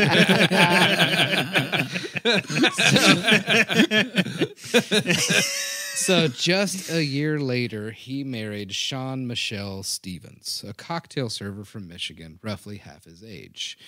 They married in his backyard overlooking his piano shaped pool, both in white. However, the honeymoon phase didn't last too long for Jerry Lee this go round. Shawn figured out pretty quick that at this point in his life, Jerry Lee liked to drink a lot. He was also now shooting speed directly into his stomach. Oh my god. His half a stomach? Yeah. Oh my god. you can do that? Apparently, you can. Uh, oh, oh, as far as like just in general, yes, it's. I guess I don't advise it. All listeners, please don't do this. No. But if you shoot a drug directly into your stomach intravenously, you're gonna get a really quick hit of it through the bloodstream, but then your stomach's gonna absorb the rest of it, and it's gonna be like a slow release kind of a thing. Hang on, you mean like So you get that immediate into your abdomen, or like you like you're putting the needle like into your stomach, stomach? You're planning on hitting the stomach. That's, That's wild. Yeah, What? That is the goal. I didn't know you could do that. Yeah, so you get the immediate pick me up, and then it'll last for depending on what you're taking, but it lasts for hours longer than just shooting it straight into a vein that it goes straight to your brain. and he he's doing this to his half stomach. Aha, yeah. Dude, mur- murder, schmurder, drug tip. Don't pop veins. Don't do it. Just if you're gonna do drugs, seriously, don't don't shoot. Just put it in your ass. It's fine. Yeah, I would much rather you guys boof something than shoot it. Please, just Yeah. avoid needles. Seriously, just avoid needles. Anyways, Don't do drugs.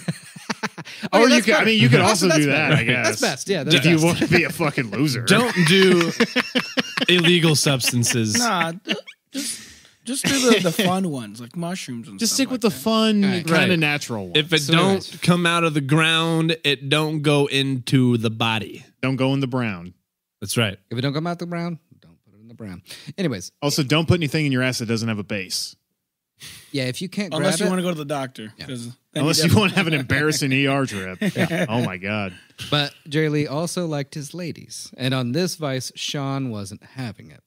When she threatened to leave the first time, he said, You're my woman. I'll kill you before you leave, which caused her to ease back for a little while.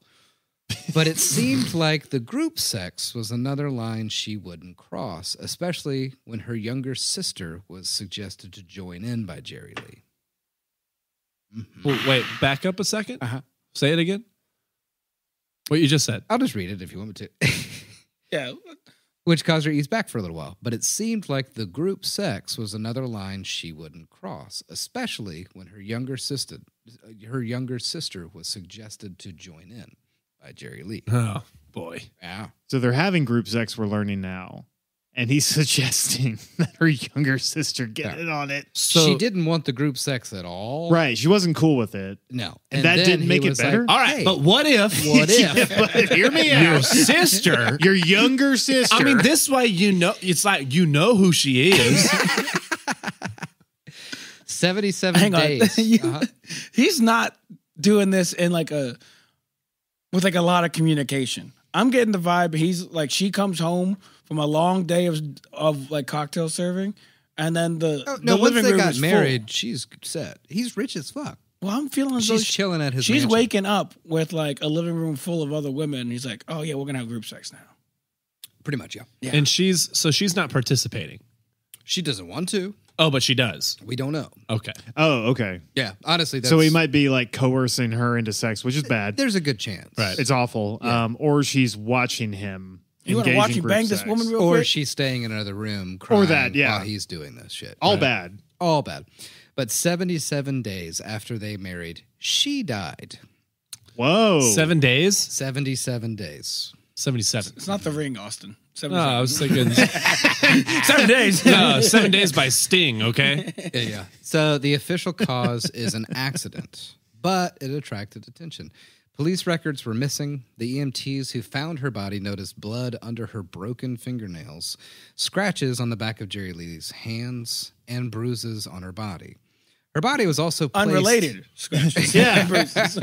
These aren't red flags, they're unrelated flags. The cat got me. The cat's also dead. You know, I'm so glad you said that. Somebody actually suggested a cat. Well, we'll, we'll figure out why somebody suggested a, ga- a police officer, uh, Ah, and then somebody shocker. very quickly was like, "Jerry Lee doesn't have a cat." Anyways, Hang on, you said it was an accident, like a car accident. the official. Sorry, I meant cougar. she was found bloody and dead on the guest bed in one of the guest beds in his house. Oh, okay. The official police report in history is that it was an accident. Like she fell. Fell on a knife or something. Yeah. We've got more information to come, fellers. Here we go. Oh. you, would you like us to stop interrupting you so you can give us more I don't really information? care. Um, her body was also placed neatly on a fully made bed in one of the guest rooms. Okay. She, she died with the bouquet of flowers in her hands. and the tear stains on her dress. Jerry Lee was locked in their master bedroom, and the police were there, and it took his housekeeper of 10 years knocking on the door for him to open, but he very quickly answered with blood on his robe and slippers, a pile of bloody clothes in the corner of the bathroom, with more blood sprayed on the walls. And on the white shag carpet of the bedroom. Hang on, you said sprayed on the walls? What mm-hmm. the fuck was he doing? I don't know. The mirror Nothing Killing good. his wife, I think. I don't, want to bury the lead, but I think he was killing his wife. Is this just another situation where it's like it's not what it looks like? How many of those situations do you get, though? It's like, I know I've said it before, but this really Seriously, isn't what it looks exactly. like. The nearby Memphis newspaper didn't cover much, but a paper in Detroit interviewed her parents, which is Detroit's basically where she's from. right? Um, and a whole bunch of shit started coming out. The biggest is that she called her mom the night of her death in tears, saying that she was going to leave him, but he wouldn't let her. She then called her high school sweetheart, Scott, who she had gotten back in touch with due to their very problematic marriage. As far as the night in question, the police did not report foul play, and it was looking like a home field advantage grand jury was about to determine there was no foul play. See, Jerry Lee's world was DeSoto County, Mississippi. Elvis owned Memphis just up the road a little way, but the officials in DeSoto had a special place in Jerry Lee's pocket. When it counted, he made the appropriate contributions to the right men to contribute to make sure that the town stayed right, i.e., God fearing people raising God fearing families. Does, does right mean white in this? Sure. Okay. That's what I thought you were building up to. I th- At least that's what Jerry Lee liked to think that these are good God fearing people running the sheriff's department and I better cut him a good big fat check. to make sure that they stay there. Yep. To give you an idea of his sway, the night before Shawn died, when he drove his car off the road into a ditch, yet again, the police just drove him home without testing him. The incident wasn't even reported by the sheriff's department. The county dispatcher at the time, John Crawford, said, I knew not to log it or nothing. When I heard it was Jerry Lee Lewis, I knew it was just a community service. This was the culture in DeSoto County, so we have a pretty clear understanding of how the death of his most recent wife was handled by them. When the state uh, police department arrived the next morning, county officials had already muddied up the waters of the crime scene, and Jerry Lee was alone with the deputy sheriff, Jack McCallie, in his den for more than an hour. What they were talking about, we don't know. But soon after, state officials learned that county officials already decided unilaterally to use a private medical examiner instead of a public one. So all information gathered now had to go back through the county first before making its way to the state, as well as the details the county wanted omitted from public record. Why? Why? can I ask? Why would you even have a private medical examiner if not for this exact reason? It's a hundred percent only for this reason. Right. Like. Yeah. uh, Again, sheriffs are elected. These are elected officials. These people do not really serve anybody other their. Well, I was about to say constituents. Get in there and tell them I didn't kill my wife. you understand how much I paid you? hey, Doc, you want to write up accident on cause of death? No, I, I really think that this was foul play. Puts another thousand. Yeah. I think accident. No, I'm serious. Accident. Damn it, let me get another shoebox. Um, but a young funeral director named Danny Phillips did leak a little bit of the information to the public. He said, I would never say Jerry Lee Lewis killed that girl, but I'd like to see it investigated. To me, I just can't believe that girl got into that bed and just laid down and died. and just popped. You just Yeah. you just can't make me believe it. Phillips was mostly concerned about a hypodermic puncture wound on her right arm. The same needle that was found at Jerry Lee's house that day. The official cause of death was fluid in the lungs from methadone, a hundred times the amount that a normal person would take methadone. Damn, he Marilyn Monroe her. Seems like it.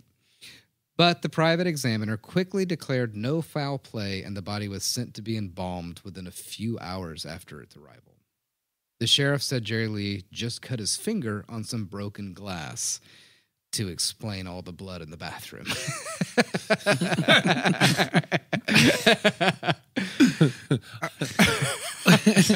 What year is this? oh, shit. Uh, this is like 80. It doesn't matter the year. A cap. Came out came out like a fire hose.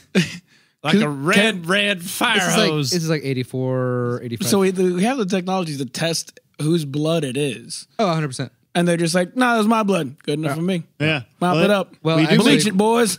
So her bruises were declared superficial, and there was no sign of domestic super violence, duper official. and no blood tests were given or taken. Oh, God. If anyone is still on the fence, A cap forever. Sorry, They'll just suck it. Doesn't matter what year. Fuck them all. if if anyone is still on the fence at all about Jerry Lee's guilt, I'm still kind of on the fence. three nights earlier, you can pull it around. Jerry Lee brought home two women for group sex with Shawn. At some point, the girls got s- scared enough to flee his house and beg a neighbor for a ride out of there. Jesus Christ. And like I said earlier, the night of, Shawn called her mom, who just assumed that she was overly upset and they would talk it over the next morning after she got some sleep. And as for the high school sweetheart she called after, the phone line went dead in the middle of their conversation. That's according to Scott. fucking horror movie shit. Yeah. A week after her funeral, he was back at his favorite bar. Okay, hang on. Pl- Oh, oh, sorry, I, I have to say it. I'm going to call it.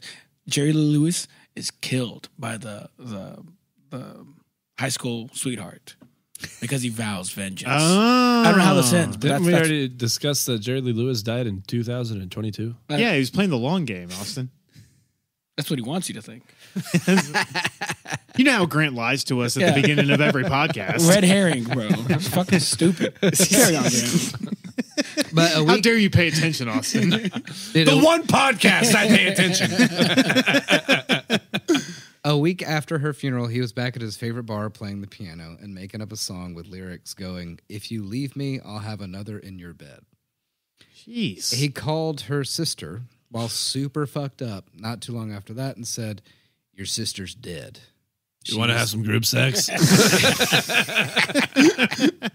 Your, now si- that the buzzkill's done. your sister's dead. She was a bad girl and now she's dead. Fuck. Gross. God damn. His sixth marriage to Kerrie McCarver lasted for 21 years from April 1984 to June. She was a good oh girl. They had one child, Jerry Lee Lewis III, Jerry Lee Lewis the third? which is not how that works. Wait, usually it's usually Remember, Junior right, died. Right, right, right. and he just decided to name another one. It's like the Simpsons just snowballed too. Jerry Lee Lewis, the third try. That's awesome, bro. You can't write that shit. That's just Seriously. you might as well have named this kid Third Time's the Charm. That was his middle name. Jerry Lee Lewis, third time's Jerry Lee, third time's the charm, Lewis the third. In 1993, Lewis moved to Ireland with his family, and is what was suggested, but he denied, to be a move to avoid issues with the IRS. He lived in a rented house in Westminster Road in Foxrock, Dublin. And during his time there, he was sued by the German company uh, Neue Constantin Film Production for failure to appear at a concert in Munich in 1993. Lewis returned to the U.S. in 1997 after his tax issues had been resolved by an Irish promoter. Okay. I know, uh, just whatever. They- anyway, they moved back to DeSoto County. He wrote a check to the IRA. with his yeah, seriously, with his family. Lewis married his seventh wife, Judith Lewis, which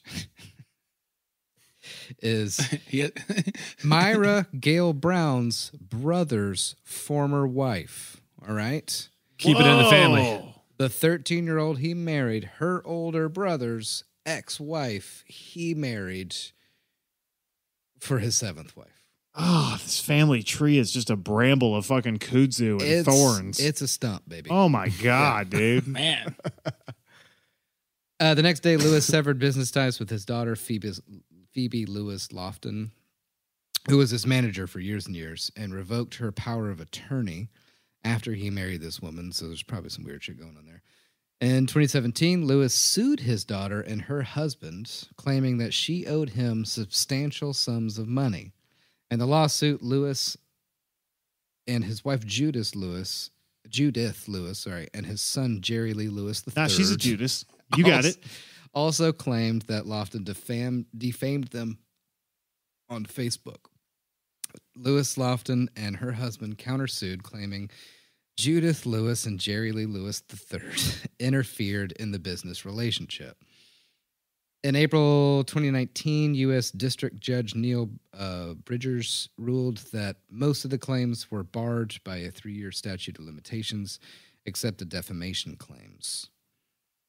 So it was, I feel like that district judge was like, this is just who's married to who, who's related to who, why are you suing each other? Just get, get, get, get out of here. You You're know? drunk in my courtroom. Get the fuck out of here. Like, Yeah.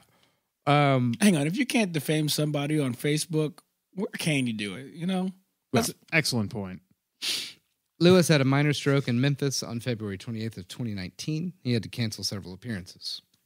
He died at his home on October 28th of 2022 in Nesbit, Mississippi, or DeSoto County, By the At hands the- of. at the age of 87 and a net worth of 10 to maybe 15 million dollars. Lewis's funeral was held on November 5th, his home in his hometown of Ferriday, Louisiana. The service was officiated by his cousin and his cousin's son to a relatively small audience, but was broadcasted live on the internet as well as local stations in the southeast. There you go. That's Jerry Lee Lewis. Hell yeah. Hell yeah, Grant. Yeah. What a life. Yeah, yeah. What the guy a- was. Again, it's just that whole like, like I said at the very beginning. I think I'm gonna try and play with the idea of separating art from artist. You know what I mean? Because like, he was a real piece of shit, Yeah. but like, kind of fucking awesome. What was the funeral like? Because that funeral had to be badass. I feel like he's the type of guy that would have like a lot of weird stipulations. I was literally thinking the whole town of Ferriday, Louisiana just fucking went off the rails for that funeral. Oh, yeah. Like I was just like, oh, everybody's drunk. There's a parade. Like it must Yeah. have been insane. Someone's lighting a piano on fire for sure. Dude, light uh fucking doing rails of coke off of his casket. Jerry Lee would have wanted this. just take a shot of grain alcohol and smash the glass on the casket. Yeah, yeah. Oh yeah. Uh, What a fucker. Yeah. yeah, what a I mean, seriously. what, a, fucking guy. what a fucker. so he he died married, right? Yeah. That's wild. That woman was like, fucking finally, this finally paid off. All the Bojangles I snuck in him really fucking finally paid Uh, off. apparently, for him, it was like seventh time is the charm, uh, according to her at least. And every single other one of his ex-wives came out being like, he was horrible. Yeah. I divorced him because of these litany of ter- terrible reasons. Apparently, he was so old and pretty much enfeebled by that point that they would just like go to a meet and three once a week or like go catch a football game. Thank God you no one and- showed him any Viagra. if Seriously. we would have found out about that, Oh my god. you would have had round seven, bro. he'd live for another 30 years. Uh, the- you know, believe I'm 103? starts playing the piano with his dick. Uh, but you know, on stage and in the studio, incredible. Seriously, he was massively important to American music in general. Apparently, one time, like John Lennon went to one of his shows and came backstage and like bowed in front of him and like kissed his hand. It, I'm pretty sure he was high and just making kind of a little deal out of it or whatever. Jerry Lee was like, "All right, thanks. What the hell?" John going Lennon's also here? a weird fucker. It was a weird guy. John Lennon was like, I also strangled a woman. a man of good taste you are. but like, Notoriously cool to women, John Lennon was. oh yes, he was. Uh-huh.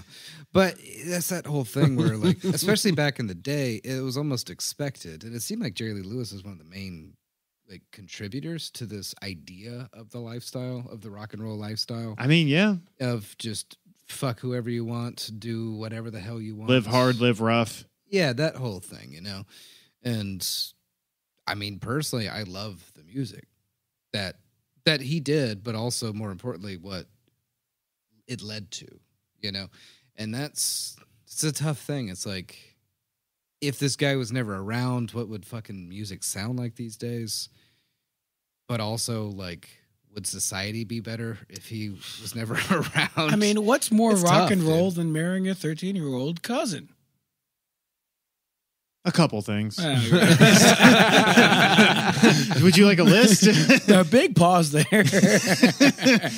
Was it? Do you think uh, the Rolling Stones would have been trashing uh, hotel rooms if Jerry Lee Lewis hadn't? Right. You and I mean, also, the Rolling Stones wouldn't have been as inspired as they were mm. I mean, it's by true. Jerry Lee's music. Yeah, I mean, they looked at old American blues and rock and country and all that stuff, Right. all that swamp fire rock. Honestly, man, like I, I know that the Rolling Stones are who they are, but I can't stand Mick Jagger, dude. That's no, that's that's reasonable. I can't, I can't stand him. I, I don't He's like. kind of annoying. I don't like. I don't like him. I don't like the Rolling Stones. I think their music is fucking annoying. Well, Yeah, it's annoying. It's annoying to me. I understand that it's it's it's very uh what's the word I'm looking for? Um I know that the Rolling Stones changed music in their They're own influential. Right. Yeah, influential, thank you. Mhm. But it's just not it's just not for me. sure. I'm not sure if it's just because I I've mean, heard got it a buddy thousand that times. Fucking Maybe. hates Nirvana, But, like- you know, so yeah. Yeah. and Joseph, he hates uh, fucking Beatles. He's stupid about it. I don't know that I hate the Beatles. I think I feel like I think honestly when I like it's kind of the same but I it's over. feel it's so overplayed. I like the Beatles more than I like the Rolling Stones, but it is the same kind of thing. Yeah. Where it's like okay, you guys have a couple of cool songs, but like the rest of them kind of annoying. And the more stories that I hear about you guys, Yeah, you guys kind of fucking suck. Yeah, the know? the less I care, Right. and also like I'm so sick of Beatles fans just being like, "Do They're the you know how of all important the. Beatles are?" It's like, listen, man, Rubber Soul's is a great album. Fine, I will not argue with you about that, but shut the fuck up Right. with the fucking John Lennon and the They were fucking- very important. they were important, but like fucking God, give it a rest. They were musical geniuses. One of the Yeah, I want to hold your hand is so influential. at the time it really was. really yeah, was. I mean, there's. I think the Beatles have more songs that I can get into than the Rolling Stones do. Yeah, and I mean, I like the Rolling Stones well enough, but I think that's the problem with classic rock too, is that all of us grew up like with our dads jamming it, except for I guess Jaime because he never heard Journey before. Nah, my dad listened to Hispanic music. Yeah, but like I think the rest of us, like I remember fucking, I think it was like ninety point three, the Eagle, the fucking Kentucky classic rock station, playing constantly in my dad's truck, and it would just be like, I hope you're ready for Three Dog Night and the Rolling Stones and ACDC and fucking Who Caresville, man, fucking. I love all those bands. But I, I think the important thing to remember is that, like, at the time, it was insanely new, controversial. Yeah. all of these things. It was. very I'm pretty- was. you know. I'm pretty We're burnt out on ACDC as well. I, I don't like ACDC. Well, they were not never really that great. I'm I burnt think out. AC, I think Hell sounds like the fucking drums to an ACDC album, man. It's just fucking. Nah, that's the Pixies. Pixies drums. Ugh. I like the Pixies. Pixies as They're fine. The Pixies aren't bad. I just hate how they record the drums. I just ugh, it kills me. What do you think? Actually, Grant. Uh, I think they're just the horrifically second recorded. half of their albums that got better. I do understand. I do understand where you're coming from. Yeah, I can't listen to it. Like every time No. I like hear It's the- like- how they record the drums, it, it hurts me. but it's like it's it's those kinds of bands. It's like it's like ACDC, Rolling Stones, uh, fucking even Metallica. Like I can't stand their music, but I understand that if it weren't for them, a lot of bands could not have.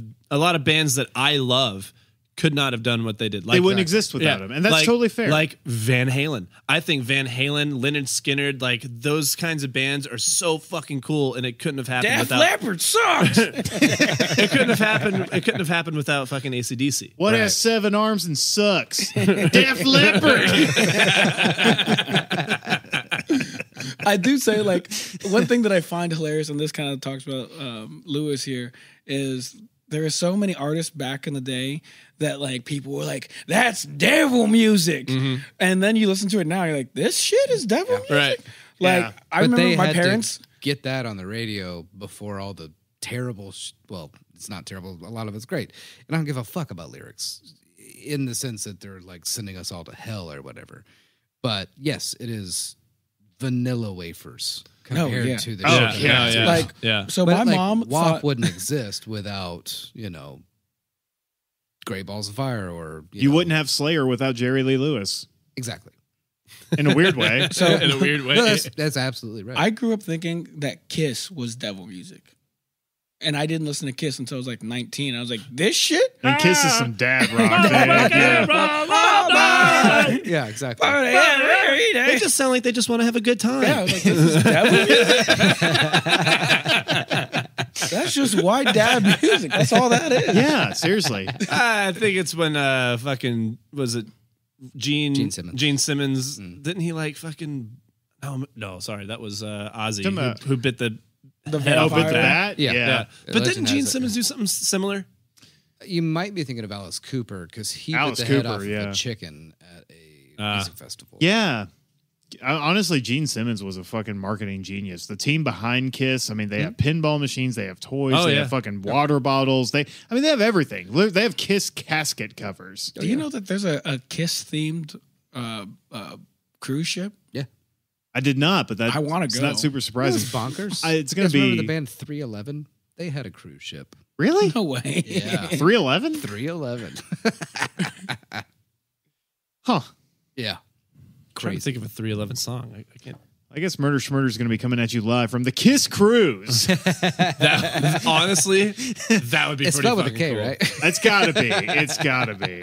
So if you guys if you guys subscribe to the Patreon, you give us the co- the cost of a couple cups of coffee a month, You get a lot more content. You get to hear more of us, which I know if you're listening to this, you are you obviously are thirsty for more of us. Who wouldn't be? Who wouldn't be really. And you get to hear us do more fun things, stupid things, like going on the Kiss cruise and hanging out with a bunch of fucking sun-eaten sixty-year-olds. I assume. I mean, With I don't know if you, I don't know if you guys feel the same way, but like we've they're really been sweating coming off. I into want our to have own black here. metal makeup. You know, I don't know about you, dear listener, but I think we've really been coming into our own here, and it's only going to get better, especially if we're on a cruise. Got a Oh couple my of God. pina coladas in the old belly. Mm-hmm. especially if you ease the financial tension a little bit. Give us some breathing room. Mm-hmm. Right, right, mm-hmm. right. Think about how funny we could be live then. our dream. Now email us at don't email trashville at gmail.com telling us what, what what should they tell us this time? Uh, The craziest concert they've Oh. ever seen, your opinion about the Rolling Stones or the Beatles Oh. or Jerry Lee Lewis or dad rock in general. I would just say, th- give us your your opinion of the most overrated or underrated classic bands, yeah, That's a good one. I like that. because I'm always down to listen to some some new music. Like Uriah Heep or Ten Years After. I love those bands. Nobody knows those fucking bands. Yeah, uh, that? That's from that era. Give us your uh, collective soul hot takes, you dad listening mofo's. There was a there was a prog band called uh, Gentle Gentle Giant. They were so ahead of their time. They time, were very good. and I would have never have I would have never have known had I had just not gone down like this weird YouTube rabbit hole. And I was like, where the fuck were these guys? This is insane. Yeah. But it was just like they they play it at a time where it's just like I don't think a lot of people were ready for it. Really glad that's the weird YouTube rabbit hole you fell down because I feel like could have ended a different way. In this day and age, yes. Yeah. When I was like 19, 20 years old, I was a little bit more Okay. hesitant in my searches. Instead of gentle giant, it's like, did you know the Earth is flat? and have you heard of the Rothschilds? I was gonna say, I think I was right on the cusp when people weren't absolutely out of their fucking mind. Yeah, There was still like a little bit Right. of like, ah, Right. it's not. How deep Yeah, can I go? exactly. Like I can't tell you what political side I'm on, but the but the world is definitely round. That's the era that I grew up in. It's good to check I in know. every once in a while. What a good time period that was. what a great time period we're in now. oh yes, it's wonderful. Everything's getting better all the time. So don't forget to plug in, listen to Murder Schmurder, get away from it all while we'll remind you of some horrible stuff that happened far away ago. Um, and uh, like, rate, review, and subscribe. It really does help. Even Please. if you just just seriously, it helps more than you think. That's true. It really does. Anyways, thank you guys so much. This is Austin. This is Jamie. This is Joseph. And this is Grant. Thank you. Bye. Goodbye. Like what you hear? Subscribe. Follow us on Instagram at Trashville underscore USA. And if there's a true crime story you want the gang to cover, email us at don't email trashville at gmail.com. Murder Schmurder is produced by Jamie. Our tracking engineer is Grant, and our mix and mastering engineer is Julie. Incidental music and our theme song is provided by Jules. This has been another production of Murder Schmurder.